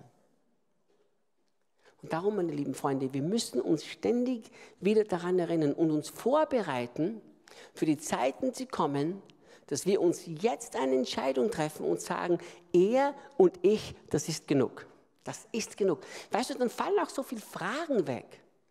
Die Leute fragen mich immer, Reinhard, fragst du nicht? Ich sage, nein. Aber Reinhard, warum ist das geschehen? Sage ich, weiß ich nicht, will ich auch gar nicht wissen. Aber Reinhard, kannst du das erklären? Brauche ich nicht erklärt haben. Wenn ich nachts aufs Bett gehe, ich schlafe nicht ein, ohne mir eine Viertelstunde, 20 Minuten, eine halbe Stunde zu nehmen, nur er und ich zu kuscheln einfach ihn zu genießen. Und so schlafe ich ein. Und wie ich es in der Schweiz gesagt habe, Debbie hat zu mir gesagt, wenn du nachts wach wirst zum Pinkel gehen und nicht an Jesus denken würdest, könntest du wieder einschlafen.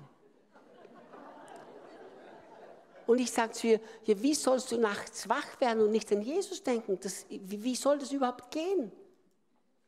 Wisst ihr, ich bin oft nachts wach und ich starre die Debbie oft an für 20 Minuten, halbe Stunde. Sie schlaft, ich starre sie einfach an. So richtig, wow, die ist schön.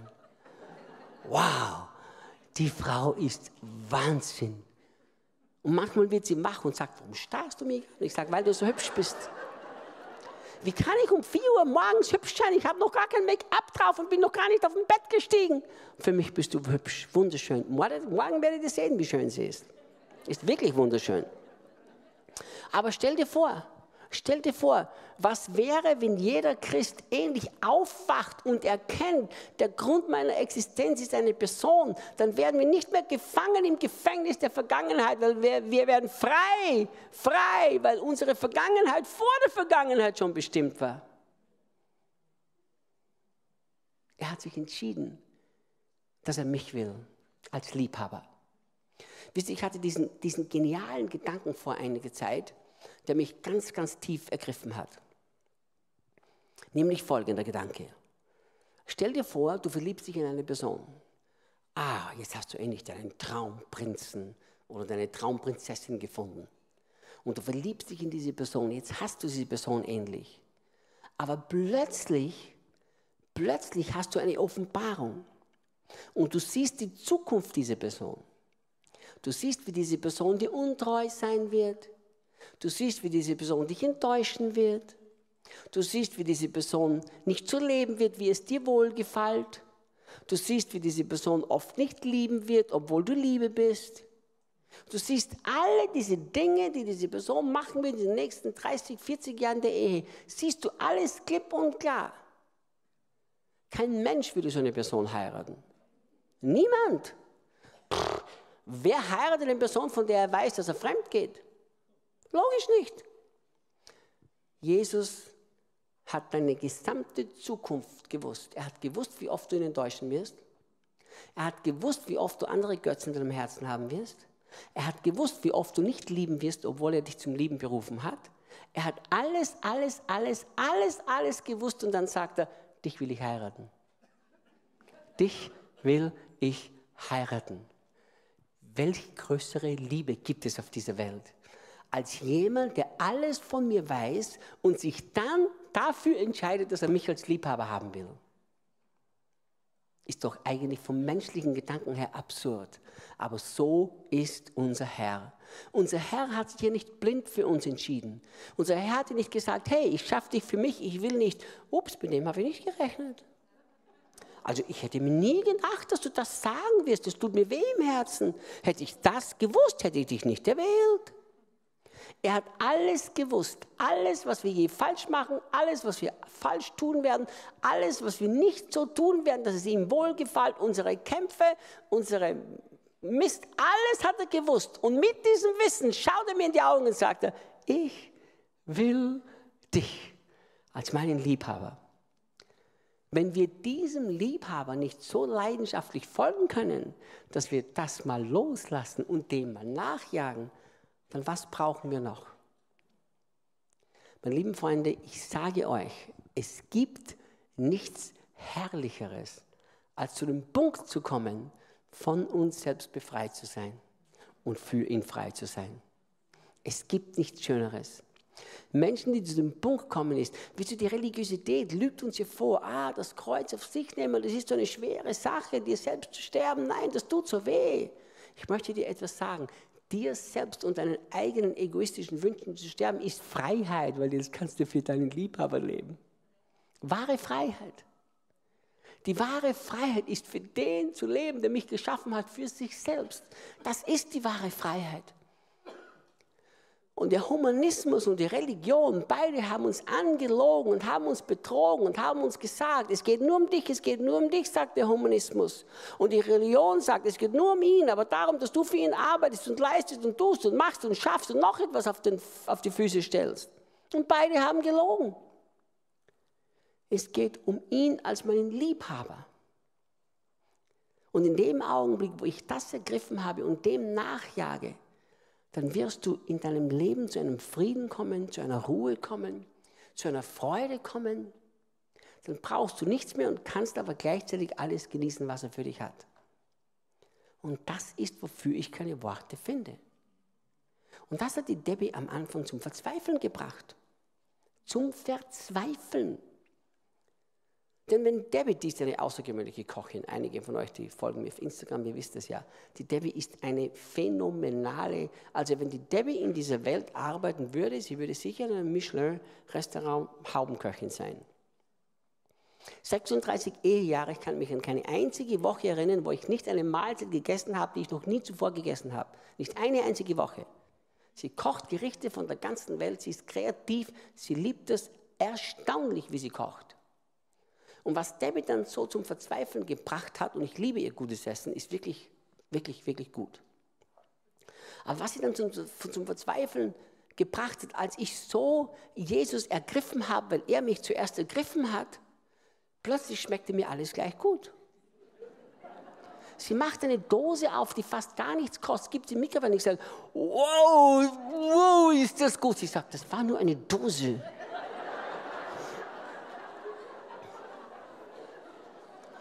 Ich hatte immer ein Lieblingsessen, bis Christus mich ergriffen hat. Seitdem ist alles mein Lieblingsessen. Alles schmeckt besser, das Gras ist so wunderbar grün, das Leben ist so herrlich, alles ist fantastisch. Darum tue ich mir so schwer, wenn Leute sagen, wann warst du verzweifelt? Oder Reinhard, wann ist es dir richtig schlecht gegangen? Manchmal denke ich mir, manchmal fühle ich mich fast schuldig, dass mir so gut geht. Manchmal denke ich mir, soll ich vielleicht irgendwas erfinden, zu sagen, dass es mir auch schlecht geht? Aber dann denke ich mir, lügen sollen ja Christen auch nicht. Es ist das einfache Geheimnis. Er und ich, wir zwei. Möge der Heilige Geist die Arbeit tun, wofür er bestimmt wurde. Jesus hatte gesagt, wenn er, der Geist, kommt, was wird er tun? Er wird euch alles lehren, was ich euch gelehrt habe. Er wird euch an all das erinnern. Was hat Jesus gesagt? Das einzige Mal, als er vom neuen Bund sprach, war kurz vor seinem Weggehen. Dann nahm er das Brot, dann nahm er den Wein und er sagte, denkt immer daran. Woran? Das ist der Kelch. Der Kelch von was? des neuen Bundes. Was sagt mir der neue Bund?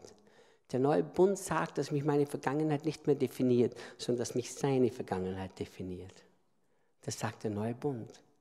Der neue Bund sagt, dass was er für mich getan hat, definiert mich. Und nicht das, was ich getan habe, definiert mich. Der neue Bund sagt, dass was er für mich getan hat, definiert mich jetzt. Und nicht, was die anderen mir angetan haben, definieren mich jetzt. Niemand hat den neuen Bund wirklich ergriffen, der noch ein Opfer ist. Absolut nicht. In dem Augenblick, wo du verstanden hast, dass er alles gemacht hat, alles, alles, alles, alles, alles hat er gemacht, das gemacht werden muss, kannst du gar kein Opfer mehr sein. Und darum, wir müssen lernen, anstatt uns ständig zu erinnern, was uns alles angetan wurde, müssen wir uns ständig erinnern, was ihm alles angetan wurde für mich dass er diesen kostbaren Preis bezahlt hat, gelitten hat, so sehr für mich, damit ich jetzt ein Leben leben kann und kein Gefangener mehr sein braucht von dem, was hinter mir ist, sondern ich kann jetzt ein Freier sein, weil er mich zur Freiheit befreit hat. Zur Freiheit, Galater 5, Vers 1, hat Christus uns befreit. Wandelt darin. Und wenn wir lernen, in dieser Freiheit darin zu wandeln, die er für mich geschaffen hat, die geht nur aus der intimen Beziehung mit ihm heraus. Und wenn wir das zu unserem Nummer eins Lebensmotto machen, er und ich, er und ich, er und ich, er und ich, er hat mich geliebt, angenommen, akzeptiert, gewollt.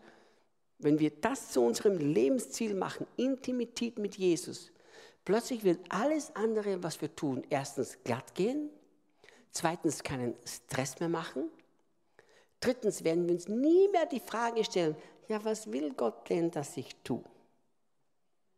Weißt du, was er will, dass du tust? So wie du Maria zu seinen Füßen setzt. Einfach setzt. Ja, aber Reinhard, ich kann doch nicht das Leben nur lange herumsitzen. Warum nicht? Warum kannst du nicht einfach das Leben lang zu seinen Füßen sitzen? Warum kannst du nicht von der Herzenhaltung her zu seinen Füßen sitzen und dann, wenn er sagt, hey, mach Sandwich, machst du ein Sandwich. Und dann, wenn er sagt, geh dorthin, gehst du dorthin. Ich habe mir nie Gedanken gemacht, was der Herr von mir will. Seit, seit vielen, vielen, vielen Jahren nicht mehr. Wisst ihr, darum ist es auch so leicht, den Willen Gottes zu erkennen. Leute sagen zu mir, ja Reinhard, wie weiß ich, ob das meine Verlangen sind oder ob das seine Stimme ist? Wie weiß ich das? Ganz einfach. Wenn er deine einzige Leidenschaft ist, dann hast du nichts mehr als ihm. Und wenn er plötzlich sagt, geh dorthin, weißt du, das war er, nicht du. Der Grund, warum wir niemals sicher sind, sagt er das oder sagt mein Herz das? Sagt er das oder sagt mein Herz das? Wenn er dein Herz völlig gegriffen hat und er deine Leidenschaft ist und er und die Beziehung mit ihm das Wichtigste in deinem Leben ist, dann was immer in deinem Herzen hervorkommt, weißt du, das ist er. Darum, wenn er, als er zu mir sagte, Reinhard, geh nach Brasilien, brauchte ich kein Zeichen, brauchte ich nicht, gar nichts mehr. Ich stand auf und rief Debbie an, sag, Koffer backen, wir gehen nach Brasilien. So, das Leben ist ja so simpel, meine lieben Freunde. So simpel. Aus der Intimität heraus werden wir immer wissen, was er will, dass wir tun. Aber durch das viele Tun wissen wir oft gar nicht, wie es geht, intim mit ihm zu sein. Weil wir glauben, wenn wir noch was schaffen, noch was machen, noch was tun für ihn, dann wird er endlich glücklich auf mich lächeln und sagen, gut hast für mich gearbeitet. Jetzt gebe ich dir eine Belohnung dafür. Wisst ihr, alle unsere Werke werden durchs Feuer gehen. Denk mal an 1. Korinther 3. Alle unsere Werke gehen eines Tages durch das Feuer. Und der Apostel Paulus sagt im dritten Korintherbrief, im ersten Korintherbrief, im dritten Kapitel, sagt er, dass viele von uns alles, was wir geleistet haben und getan haben im Leben, wird verbrennen, aber wir werden errettet sein. Stell dir vor, stell dir vor, wenn am Ende deines Lebens alle deine Werke, die du getan hast, alle durchs Feuer gehen, es bleibt nichts über. Ich hatte eine, eine, eine, prophetische Erfahrung vor ein paar Jahren, ich weiß nicht, zwei oder drei Jahren her, wo mich der Herr in den Himmel holte. Und er, er, als ich im Himmel war, spielte er das nach vor zum Ende, wo alle vor dem Richterstuhl Jesus Christus erscheinen. Und ich sah eine endlose Schlange von Männern, die heulten, die heulten heulten Rotz und Wasser. Und Jesus sagte, es gibt keinen Lohn. Und sie heulten und sagten, aber Herr, ich habe alles getan für dich. Ich habe meine Familie geopfert, ich habe meine Gesundheit geopfert, ich habe alles für dich geopfert, um dir zu dienen. Und der Herr sagt, aber du tast es nicht für mich. Das war nie das, was ich von dir wollte. Und plötzlich sah ich, dass dies alle Pastoren waren. Das waren Pastoren, die haben ihr Leben geopfert, die haben ihre Familie geopfert, die haben ihre Gesundheit geopfert, die haben alles geopfert, um eines Tages vor Jesus stehen, draufzukommen. Das Wichtigste, nämlich er und ich, habe ich nicht gehabt. Und seitdem brennt es in meinem Herzen, das Volk Gottes doch aufzurütteln, aufzuwecken, aufzuwachen und sagen, ist seine intime Beziehung mit dir das Wichtigste? Und das, was du heute tust, tust du es heraus aus dieser intimen Beziehung oder tust du es aus irgendeinem anderen Motiv? Ich wünsche mir so, dass heute jeder einzelne von euch nach Hause gehen kann und sich ehrlich und aufrichtig diese Frage stellen kann und sagen, Herr Jesus, bitte durch deinen Heiligen Geist leuchte in jeden Winkel meines Herzens hinein und zeig mir, warum ich tue, was ich tue. Ich will es sehen. Und wenn ich irgendetwas für dich tue, aus irgendeinem anderen Motiv heraus, weil wir zwei eine intime Beziehung haben und mein Liebhaber, mein Bräutigam flüstert mir ein, geh hier, geh dort, mach das, mach jenes. Wenn es das nicht ist, dann drück doch mal die Pause-Taste deines Lebens und sag mal, hab mal den Mut und sage, stopp. Zurück zur ersten Liebe. Die Epheser in Offenbarung Kapitel 3 die haben gearbeitet, die haben sich abgemüht und Jesus sagte, ich kenne eure Mühe, ich kenne eure Werke. Jesus sah alles, was sie so toll gemacht haben für ihn. Dann sagte er, aber eins habe ich gegen euch. Ihr habt was verlassen? Die erste Liebe. Und Jesus ist dabei, sich eine Braut zuzurüsten, die zurückgeht zur ersten Liebe. Eine Braut, die so verliebt ist in ihm, dass nichts mehr einen Wert hat verglichen mit dieser Liebesbeziehung. Dass alles verglänzt, alles verblasst. Und diese Braut, die kann gar nicht gefangen sein in ihrer Vergangenheit, weil diese Braut weiß, dass sie lange vor der eigenen Vergangenheit schon zum Liebhaben berufen wurde. Und wenn wir zu diesem Punkt kommen können, und für viele von uns braucht es einen ehrlichen und aufrichtigen Zerbruch, hoffentlich nur einen Zerbruch des Herzens. Ich habe so viele Freunde in Brasilien, Leute von Megadiensten, wo plötzlich alles zerbricht, außer ihr Herz. Denken wir an Brian Houston eine der, eine der bekanntesten Gemeinden der ganzen Welt, Hillsong. Der Mann ist kaputt, verbittert, sauer, kommt vielleicht sogar ins Gefängnis jetzt, zumindest ist er angeklagt. Und plötzlich, einer der bekanntesten Lobpreisleiter von Hillsong sagt, Jesus gibt es nicht als seinen Retter, ich glaube das nicht. Der hat Lieder geschrieben, die wir alle gesungen haben. Plötzlich überall auf der ganzen Welt werden großartige Top-Gemeinden erschüttert. Und plötzlich sieht man was? Die Intimität mit Jesus war gar nicht da. Alles andere war da, aber die Intimität mit Jesus nicht. Die wahre Gemeinde folgt dem Bräutigam. Die wahre Gemeinde ist verliebt in den Bräutigam. Die wahre Gemeinde sagt, Jesus, du und ich, das ist schon genug. Wenn du mir was sagst zu tun, mache ich es ja gerne. Aber wenn du mir sagst, nichts zu tun, ich bin glücklich. Wisst ich habe zum Herrn vor kurzem gesagt, Herr Jesus, weißt du, wenn du mir den Gefallen tun würdest, dass du sagst, mach ihn ja gar nichts mehr. Schmeiß das Handy in das Meer, schalt alles ab und sitz mal ein Jahr auf dem Stuhl nur mit mir. Den würde ich, hätte ich mir sehr gern, dass du mir den Gefallen tust. Aber solange du sagst, mach was, mache ich alles, was du von mir möchtest. Vor kurzem hat mir jemand die Frage gestellt, Reinhard, wenn Jesus zu dir sagen würde, er kommt morgen mittags zurück, was würdest du in deinem Leben ändern? Und ich habe nachgegrübelt, nachgegrübelt, nachgegrübelt und ich habe gesagt, nichts. Nichts. Ich wüsste nichts, was ich anders machen würde. Nichts.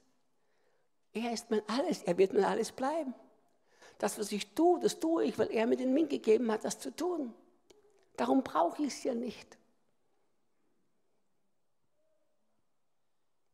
Wie wichtig ist er dir? Welchen Wert hat er in deinem Herzen? Diejenigen, die bereit sind, in den Spiegel zu schauen und ihr eigenes Herz zu sehen und bereit sind, selbst zum wahren Zerbruch des Herzens zu kommen, weil sie erkennen, um Himmels Willen, alles war mir wichtig, nur er nicht. Diejenigen, die werden es gut haben in der Zukunft. Aber viele, die das nicht bereit sind zu tun, die werden zerbrechen müssen an vielen anderen äußeren Dingen. Und hoffentlich im Zerbruch zumindest merken die dann, um Himmels Willen, ich bin ja nicht an mir zerbrochen, ich bin nicht an den Menschen zerbrochen, ich bin nicht an den Umständen zerbrochen, ich bin ja nicht zerbrochen, weil andere böse zu mir waren. Ich bin ja zerbrochen, weil er nicht alles war. Denn wenn er alles gewesen wäre, dann hätte ich ja gar nicht so zerbrochen werden können.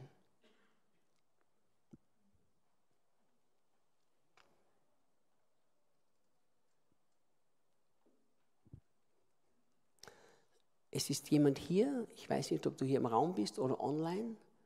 Seht ihr, wie viele Leute wir online haben? Sind Leute online dabei? Ja? Wie viel? 620, mehr als hier im Raum sind, sind da online dabei. Wow. Also ich weiß nicht, ob diese Person hier ist oder online ist, aber ich, ich spüre vom Heiligen Geist, dass der Heilige Geist jetzt gerade ein Problem im Ohr heilt. Da gibt es eine Person, vielleicht mehrere Personen, mit, mit wirklich ernsthaften Problemen im Ohr. So chronische Ohrenentzündung, die, die kommt, geht, kommt, geht, kommt, geht, die dir sehr, sehr viel Mühe bereitet hat. Ist diese Person hier im Raum, dann heb mal deine Hand. Du bist hier, leg deine Hand auf das Ohr, das leidet. Wenn du online bist und du hast ein chronisches Ohrenproblem, wir hatten jetzt im Bruck hatten wir ein herrliches Wunder, da schaute eine Person online zu, die konnte nicht gehen und plötzlich stand sie auf und ging und lauf, lief. Leg deine Hand einfach auf das Ohr, das dieses chronische Leiden hat und erlaubt den Heiligen Geist jetzt dein Ohr völlig freizusetzen. Heiliger Geist, wir danken dir so sehr, dass ja, du der Großartige bist, der uns die Schatzkammer des Himmels öffnet. Heiliger Geist, du bist unser aller, aller, aller bester Freund, der uns ständig Jesus groß macht, unseren geliebten Bräutigam, der uns die Schatzkammer des Himmels öffnet und uns all die Schätze zu uns bringt. Und dafür danke ich dir. Herr, ich danke dir für dieses Wunder, das du jetzt freigesetzt hast. Wir widerstehen jedem Krankheitsgeist. Wir sagen hier nicht, diese Körper gehören nicht dir, die gehören Jesus. Wir weisen diese Krankheit ab, wir weisen diese chronische Ohrenentzündung ab. Jedes Ohrensausen befehlen wir zu gehen und befehlen jetzt im Namen Jesu Christi, dass dein Ohr geheilt ist. Sei geheilt, sei frei, sei los, sei wiederhergestellt. Stopp zu diesem chronischen Ohrenleiden. Jetzt sei heil. Danke, Jesus. Danke, danke, danke. Sag danke, Jesus. Sag danke, danke, Jesus. War jemand hier, der Schmerzen gehabt hat im Ohr, als wir zu beten begonnen? Niemand? Oh, Jesus, danke, danke, danke, danke, Heiliger Geist. Oh Herr, du bist wunderbar, du bist groß. Katja, meine Liebe, der möchte dir sagen, dass ich in deinem Leben das vollenden werde, was ich angefangen habe. Ich sehe dich als eine Person, die tanzt wie verrückt. Wie verrückt. Und du tanzt fast so wie in Ekstase. Und als ich sehe, wie du so tanzt, da sehe ich plötzlich, dass der Herr dich in dem Tanz führt. Und dann sehe ich, dass da ganz viele Personen sind um dich herum, die mit dem Finger auf dich zeigen und sagen, so tanzt man nicht, so tanzt man nicht, so tanzt man nicht. Aber der Herr möchte dir sagen, mach dir keine Sorgen, was die anderen Leute über dich sagen. Denn der Tanz, den du tanzt, ist der Tanz, den du mit mir tanzt. Und ich habe Wohlgefallen an dir, nämlich, dass du mich so eingeladen hast, mit dir diesen Tanz des Lebens zu tanzen. Und ich sehe, wie du durch Stürme hindurch tanzt, so richtig hindurch tanzt. Und ich sehe, wie, wie die Stürme um dich herum, wie du versuchst, diese zu verändern und versuchst, diese abzuwenden, versuchst, ihnen auszuweichen. Und dann sehe ich plötzlich, wie du in deinem Herzen erkennst, ich brauche sie weder abzuwehren, noch brauche ich es ihnen auszuweichen, noch brauche ich sie wegzubeten. Ich kann einfach durchtanzen. Und das wird so eine Offenbarung und Klarheit werden in deinem Herzen, dass du eine Person sein wirst, die durch die schwierigen Zeiten lachen und tanzen durchgeht. Und durch diese schwierigen Zeiten wirst du viele andere Menschen lehren, wie man Schwierigkeiten meistert. Ich sehe so viele Menschen, die der Herr zu dir führen wird. Menschen, die verzweifelt sind, Menschen, die am Ende sind, Menschen, die nicht mehr wissen, wie sie weitermachen sollen.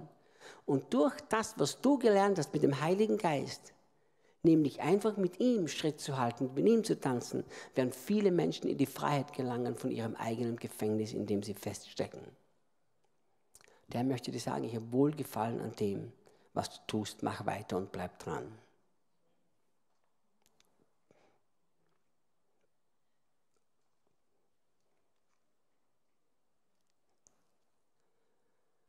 Ist jemand hier, der, der eine Verletzung im Muskel hat? Ich spüre es auf dem Heiligen Geist. Jesus heilt Muskel hier. Wo, wo ist dein Problem? Linkes Knie, hast Schmerzen? Was, was ist passiert? Fußball, wie heißt du denn? Ja, Fußball spielen soll man ja, das ist ja gut und gesund. Schon lange her? Sonntag? Gestern, okay. Noch jemand, der eine Muskelverletzung hat? Hier, hier, hier, hier, hier online bestimmt auch ein paar Leute. Okay, was kannst du nicht tun mit deinem Knie jetzt? Kannst dich bewegen, nicht trennen, okay. Glaubst du, dass Jesus hier ist, um das Knie wiederherzustellen? Absolut, cool, ich auch. Heiliger Geist, wir danken dir so sehr, dass du nicht nur der Arzt bist, sondern du bist der Arzt aller Ärzte, du bist der Oberarzt. Herr, wir danken dir, dass es keinen besseren Chirurg gibt als du. Denn du machst Operationen ohne Nebeneffekte und ohne Narben. Vater im Himmel, wir danken dir für diesen jungen Mann, wir danken dir für alle anderen Personen in diesem Raum. Herr, wir danken dir, dass dein Glaube in unseren Herzen ist. Vater, wir widerstehen jedem Krankheitsgeist und wir sagen, aus und vorbei. Herr Jesus Christus, wir setzen jetzt eine heilende Kraft frei und wir befehlen diesen Muskeln jetzt geheilt zu sein. Jeden Muskeleinriss befehlen wir heil zu sein. Diesem Knie befehlen wir völlig heil zu sein und wiederhergestellt zu sein. Und allen anderen Muskelverletzungen, wir lösen dich jetzt von deinem Leiden. Wir weisen diese Leiden jetzt ab.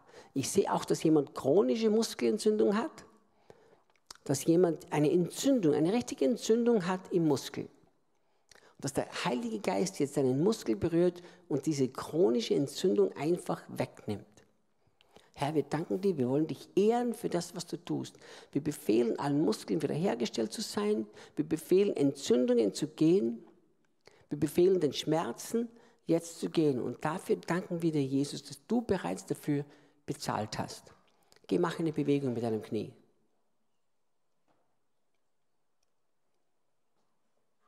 Lauf. Lauf hierher. Konntest du vorher laufen? Tut's weh? Lauf mal.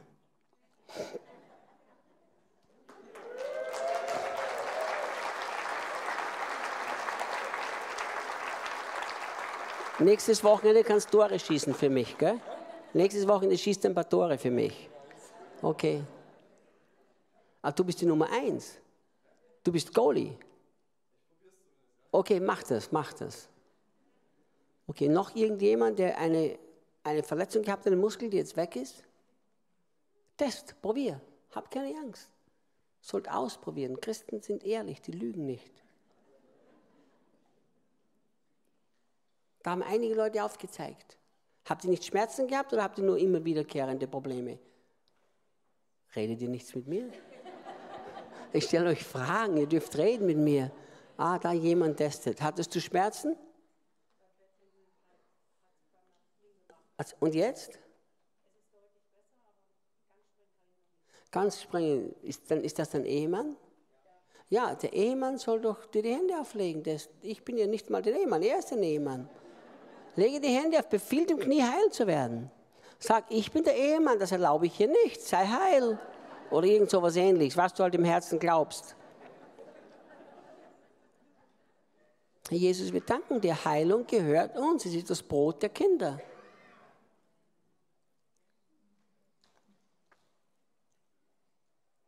Noch irgendjemand, der Muskelprobleme gehabt hat? Hast du Muskelprobleme oder gehabt?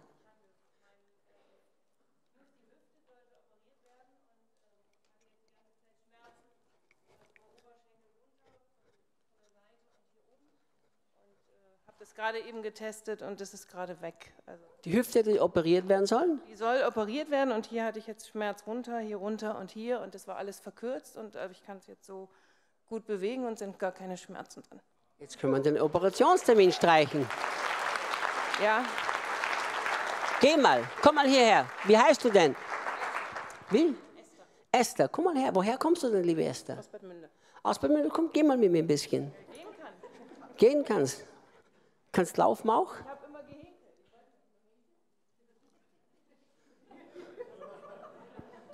Tut's weh? Tut's, ist gut? Vater im Himmel, wir danken dir, dass du ein Gott bist, der Hüften nicht nur gesund macht, sondern neue Hüften gibt. Und Vater, wir befehlen jetzt in deinem kräftigen Namen von Jesus Christus, dass hier eine neue Hüfte ist. Eine neue, erneuerte, funkelnagelneue Hüfte. Schmerz geht, wir setzen diese neue Hüfte frei. Und Esther, der Herr möchte dir sagen, ich habe noch sehr, sehr, sehr viel vor für dich. Du hast sehr viel gearbeitet im Leben, du hast sehr viel geleistet im Leben und du wurdest müde. Du bist an einem Punkt in deinem Leben, wo du einfach müde geworden bist. Und du fragst dich, wie lange du noch so weitermachen kannst. Aber der Herr möchte dir sagen, es kommt eine ganz neue Phase jetzt in deinem Leben. Die Kraft, in der du in der Vergangenheit gearbeitet hast, in der wirst du nicht mehr arbeiten. Du wirst jetzt in meiner Kraft arbeiten. Und ich sehe, wie der Herr dich zu einer sehr prophetischen Person gemacht hat. Als du ein Kind warst, da warst du ganz sensibel, sehr, sehr, sehr sensibel. Und dieses wurde dir genommen, aber der Herr sagt, ich gebe es dir wieder zurück. Du darfst wieder träumen, du darfst wieder sehen und du wirst meine Stimme sein. Und ich sehe, wie du ganz vielen anderen Menschen dienen wirst durch diese prophetische Gabe, die Gott in dir hineingegeben wurde, die aber immer wieder zum Stillschweigen gebracht wurde. Und der Herr gibt dir Erlaubnis und sagt, darfst wieder träumen und du darfst wieder reden. Und ich sehe, wie eine Gruppe von Leuten sich um dich herum schart. Und du hast so treu und so vielen Menschen gedient. Aber jetzt wirst du ihnen nicht mehr dienen, jetzt wird Jesus durch dich diesen Menschen dienen. Und es kommt eine Phase der unwahrscheinlichen Erfrischung auf dich zu. Ich sehe, wie Jesus dir einen Urlaub schenkt. Einen wirklich wunderbaren Urlaub schenkt dir der Herr. Und es wird ein Geschenk von ihm sein, dass du weißt, es ist die Zeit der Erfrischung und nicht die Zeit des Abrackerns.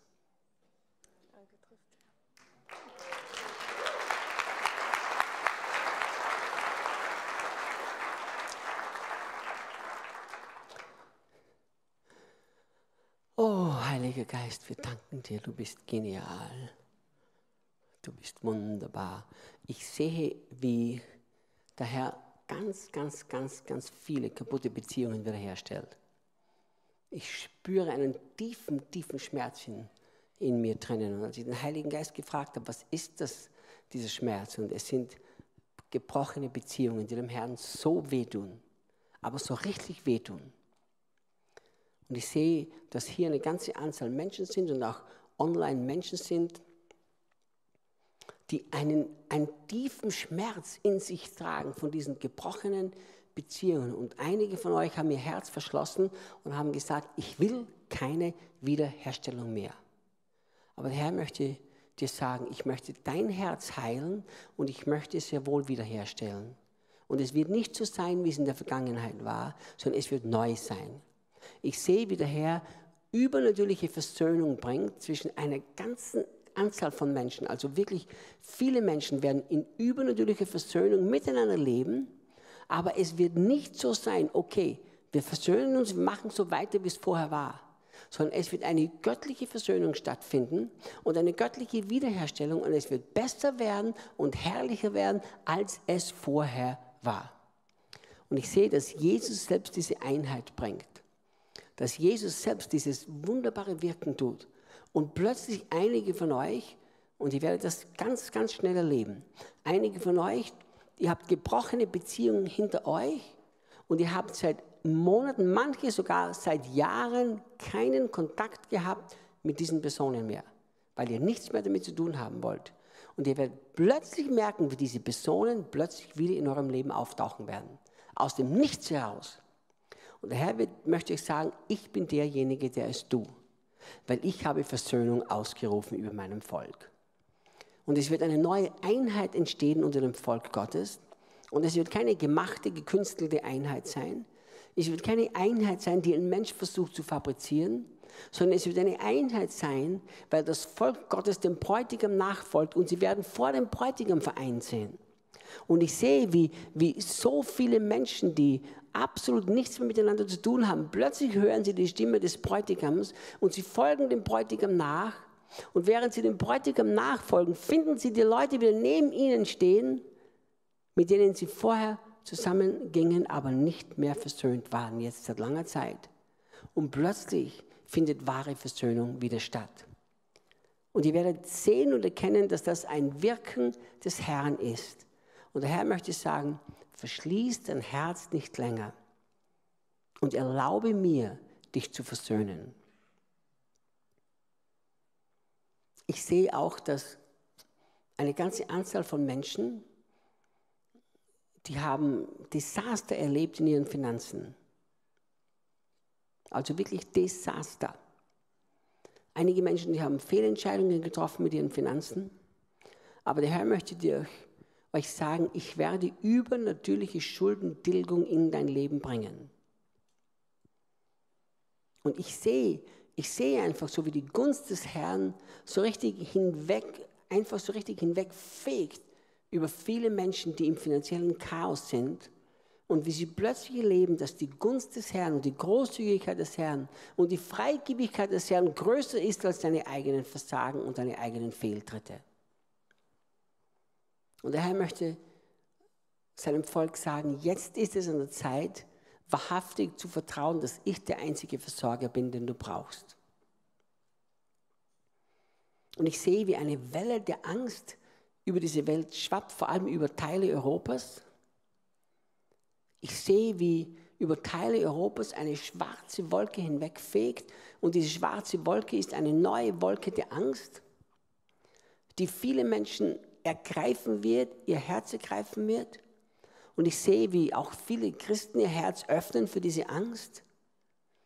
Und wenn sie ihr Herz öffnen für diese Angst, werden sie Jesus nicht mehr sehen und dadurch sehr viele falsche Entscheidungen treffen. Und der Herr möchte seinem Volk sagen, verschließ dein Herz vor dieser finsteren Wolke der Angst und lass dein Licht leuchten. Und ich sehe, wie der Herr seine Kinder zurückruft zu wirklich simplen, einfachen, kindlichen Vertrauen. Weil der Herr sagt zu seinem Volk in Europa, jetzt ist es Zeit, mir einfach und kindlich zu vertrauen. Wie ein kleines Kind sich fallen zu lassen in die Arme des Vaters, so sollt ihr euch jetzt fallen lassen in meine Arme und mir vertrauen. Denn die Realität ist nicht so schlimm wie die Angst selbst. Und diejenigen, die ihr Herz der Angst gegenüber verschließen und diese finsteren Wolke nicht erlauben, in ihr Herz einzudringen, sind diejenigen, die im Glauben und in Kühnheit und in Mut vorangehen werden und als Licht strahlen werden für die anderen Menschen um sie herum. Und es wird eine Welle bekommen eine Welle wird kommen von Bekehrungen über den deutschsprachigen Raum. Aber diese Welle der Bekehrungen wird nicht kommen, weil Gott einfach souverän etwas tut, sondern weil die Kinder des Herrn gelernt haben, ihm kindlich zu vertrauen. Und diese Kinder Gottes, die gelernt haben, ihm kindlich zu vertrauen und ihr Herz nicht öffnen für diese Angst, das sind die, werden die Kinder Gottes sein, die viele andere Menschen zum Herrn führen werden. Menschen, die heute sich selbst als klein finden, Menschen, die heute denken, wer bin ich, was kann ich tun? Der Herr möchte zu denen sagen, doch, du kannst viel tun. Du kannst dein Herz verschließen vor dieser Wolke, die über Europa fegt. Wenn du dein Herz verschließt und mir kindlich vertrauen lernst, Wenn dein Herz nach mir schreit und sagt, Jesus, hilf mir doch, ich will dir tatsächlich vertrauen lernen, dann werde ich dich auch verwenden, um viele Menschen zu mir zu führen. Ich sehe, während diese finstere Wolke über, über große Teile Europas schwebt, sehe ich, wie in vielen Häusern das Licht angeht, angeht, ganz starkes Licht. Und dieses Licht, das angeht in vielen Häusern in Europa, das sind die Kinder Gottes, die ihm gelernt haben zu vertrauen. Und zu diesem Licht werden viele andere hinzugezogen werden. Und der Herr sagt, die Wolke des Glaubens ist stärker als die Wolke der Angst. Vertrau mir. Vertrau mir. Vertrau mir. Oh, danke Jesus. Es ist halb zehn, ich gehe nach Hause. Wir haben hinten einen Büchertisch, da gibt es, glaube ich, alle meine Bücher oder nicht alle oder viele, ja. Also da hinten in der Ecke ist ein Büchertisch, da gibt es alle meine Bücher. Ich habe noch zwei Dinge mitgebracht. Morgen zeige ich euch, da, euch dann einen kurzen Videoclip von Brasilien Kids Care. Äh, für die, die nicht tägliche oder monatliche Rundbriefe kommen von Brasilien Kids Care, wir haben eine Liste vorbereitet wo ihr eure E-Mail-Adresse eintragen könnt. Und zwar, Brasilien Kids ist der Verein, den ich gegründet habe. Wir haben zum Ziel, 100 Waisenhäuser in Brasilien zu bauen. Warum habe ich diese Liste aufgelegt? Weil immer wieder Leute zu mir sagen, Reinhard, schick mir doch Informationen, was los ist. Wir haben uns dem Herrn gegenüber ganz klar, haben wir eine Abmachung gemacht, dass wir niemals, niemals, niemals einen Spendenaufruf machen werden. Niemals. Wenn Gott zu dir sagt, dass du für Brasilien Kids Care spenden sollst und du anrufst bei uns in Brasilien und mit den Leuten, die dafür verantwortlich sind, redest und wenn du sie fragst, und wenn du ihnen sagst, Gott hat zu mir gesagt, ich soll euch etwas geben, welchen Betrag benötigt ihr, dann ist ihnen verboten, dir eine Antwort zu geben. Ist ihnen verboten, von mir, dem Gründer von Brasilien Kids Care. Wir werden niemals irgendeine Person auf dieser Welt um einen Cent bitten, weil Gott unser Versorger ist. Der Rundbrief ist einzig und allein da, um Informationen zu geben für Leute, die interessiert sind. Immer wieder gibt es Leute, die sagen, mein Herz bricht, ich will beten, was, was, ich will einfach irgendwie Teil daran haben. Und wenn du das möchtest, schreibst du in diesen, auf dieser Liste deine E-Mail-Adresse in Blockschrift bitte ein. Du kannst ihn jederzeit auch abbestellen, diesen monatlichen Rundbrief. Und eine zweite Liste haben wir hier und auch wiederum nur, weil immer wieder werden, werde ich von Menschen gefragt, Irgendjemand hat was gesagt vom Mentoring. Was ist das das? Ich weiß doch gar nichts. Und ihr, die mir kennt, ihr wisst das ja eh und ihr, die mich nicht kennt, ihr hoffentlich lernt ihr mich kennen. Ich mache das nicht, um einfach irgendwelche Leute zum Mentoring bekommen, sondern ganz simpel und einfach euch zu erklären, was ich tue und was möglich ist. Wir haben ein Mentoring-Programm, das ist ein bezahltes Mentoring. Wenn du mich fragst, wie viel das kostet, weiß ich nicht. Dafür habe ich Angestellte, die sich um diese Sachen kümmern. Aber es ist ein bezahltes Mentoring, da kommen jede Woche zwei 30-stündige, 30-minütige, jede. Jetzt wäre sogar ich müde. Jede Woche zwei 30-minütige Videolehren, die ich nirgendwo, irgendwann, irgendwo lehre oder predige, sondern ganz speziell für diese Mentoring-Gruppe vorbereitet. Zweimal 30 Minuten Video-Messages pro Woche und zwölfmal im Jahr eine dreistündige Zoom-Meeting, wo ich lehre wo man dann live interagieren kann, wo man Fragen stellen kann und wo man dann auch, wo ich auf diese Fragen noch eingehe. Zusätzlich gibt es dann noch Vernetzung untereinander unter den Gruppen. Und viele Leute, ein Mann hat zu mir gesagt, mal Reinhard, wie kannst du für das was verlangen? Ich habe gesagt, hör zu, ich würde gerne alles umsonst machen. Wenn du meine 15 Mitarbeiter bezahlst, mache ich alles umsonst. Eine ganz simple Geschichte. Am Himmels Willen, nein, das zahle ich nicht. Ja, wir versuchen, so viel es nur geht, und viele von euch wissen das, wir machen ständig Videobotschaften, Lehren auf YouTube, Instagram, Lives, tägliche Andachten. So viel wir können, machen wir völlig kostenlos, damit jeder das genießen kann. Und das wenige, das wir nicht kostenlos machen, dient einfach dazu, um diesen Dienst, den der Herr uns gegeben hat, ganz einfach weiterzutreiben. Mir ist lieber, ich mache ein Mentoring und die Leute bezahlen dafür, ich mache irgendwo einen Spendenaufruf. Das mag ich überhaupt nicht. Und von dem her, es gibt dieses Mentoring und wenn ihr Interesse habt, Da gibt es auch eine Liste, da steht drauf Mentoring. Wenn ihr euch eure E-Mail eintragt, bekommt ihr ein einmaliges E-Mail mit Informationen zugeschickt, wie ihr Teil davon werden könnt. Oder ihr geht auf reinhardhirtler.com, reinhardhirtler.com und da ist es, glaube ich, auch irgendwo drauf. Ich, ich denke, ich bin mir nicht ganz sicher, aber ich denke schon. Danke euch herzlichst, herzlichst, herzlichst für diesen wunderbaren Abend. Morgen geht es um 9.30 Uhr weiter. Hast du noch was zum Sagen? Dann komm rauf, liebe Ronny. Bleib unten.